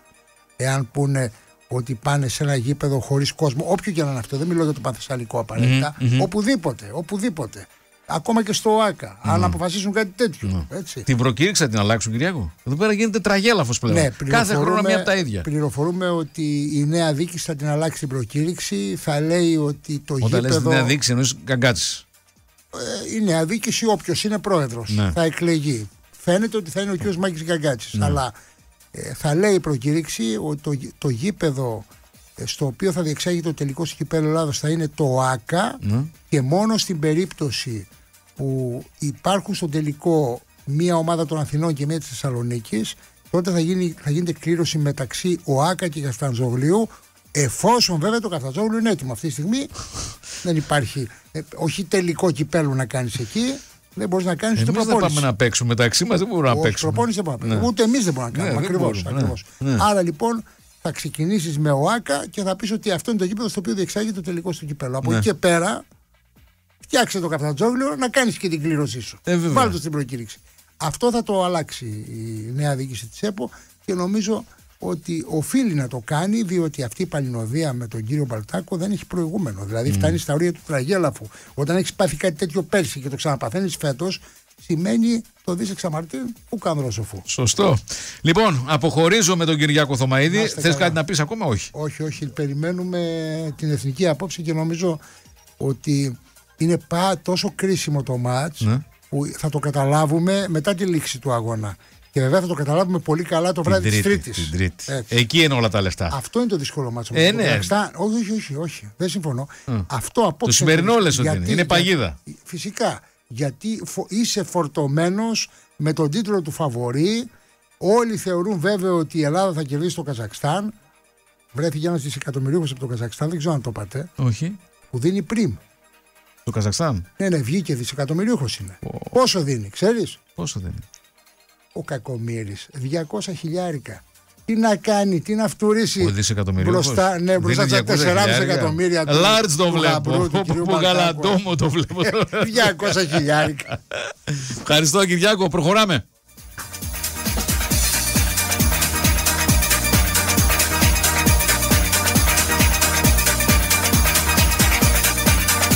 Λοιπόν, αφήνουμε την αποκλειστικότητα των ειδήσεων για να πάμε στην αποκλειστικότητα της παρουσίας της Τάνιας Μοσκοπούλου στο στούντιο. Τάνια μου τι κάνεις, καλησπέρα. Καλησπέρα Γιώργο. Σε βλέπω καλησπέρα. αθλητικά ντυμένη σήμερα, σπορτίβ, τζινάκι, ε, παπουτσάκι, αθλητικό, φόρμα Έπρεπε να τα επάνω. κάνουμε όλα. Κάθε μέρα έτσι κάτι διαφορετικό. Να εμφανίζουμε μια άλλη εικόνα. Ναι. Έχει και ωραίο καιρό έξω, οπότε σήμερα πρέπει να έρθουμε έτσι λίγο πιο χαλαρά, πιο αθλητικά. Ωραία. Να πούμε και μια καλησπέρα στους ακροατές μας και να πάμε κατευθείαν στο γκάλοπ, το οποίο φυσικά αφορά το σημερινό παιχνίδι της Εθνικής με το Καζακστάν. Α, ένα πάρα πολύ σημαντικό βήμα προκειμένου η Ελλάδα να βρεθεί ακόμη πιο κοντά στη Γερμανία και στο Euro του 2024 το καλοκαίρι. Και εμείς αυτό ήταν το ερώτημα ακριβώς το οποίο θέσαμε στον κόσμο. Αν μπορεί σήμερα η Ελλάδα να κάνει αυτό το πρώτο βήμα με μια νίκη απέναντι στο Καζακστάν. Πάρα πολύ αισιόδοξοι οι ακροατές μας και γενικά οι Έλληνες για την εθνική μας ομάδα. Το 88%. Λέει πω ναι. Λέω, πω, πω, πω. Θεωρεί ότι το Καζακστάν δεν είναι τόσο ισχυρός αντίπαλος και θεωρεί ότι και η Ελλάδα είναι σε μια πολύ καλή φόρμα με τους παίκτες που έχει στο δυναμικό της και ο Γκουστάβο Πογιότ. Οπότε το 88% λέει πως ναι, θα Ναι. την πάρει τη σημερινή νίκη στην ΟΠΑ Παρίνα. Υπάρχει και ένα 12% πολύ μικρό ποσοστό, σχεδόν ο ένας στους 9, ο οποίος λέει ότι μάλλον θα δυσκολευτεί και ίσως δεν καταφέρει την νίκη. Μπορεί κάποιος οπαλία. Είπα ξύλο. Όχι, όχι, και εγώ νομίζω ότι θα νικήσουμε σήμερα. Άρα και εσείς συντάσσετε Με τη συντα- νίκη. με τη νίκη. Και την πλειοψηφία. Τελειώσαμε. Όπου η Τάνια, εκεί όλοι. Καλή Ευχαριστούμε συνέχεια, πάρα γεια πολύ. σας. Προχωράμε.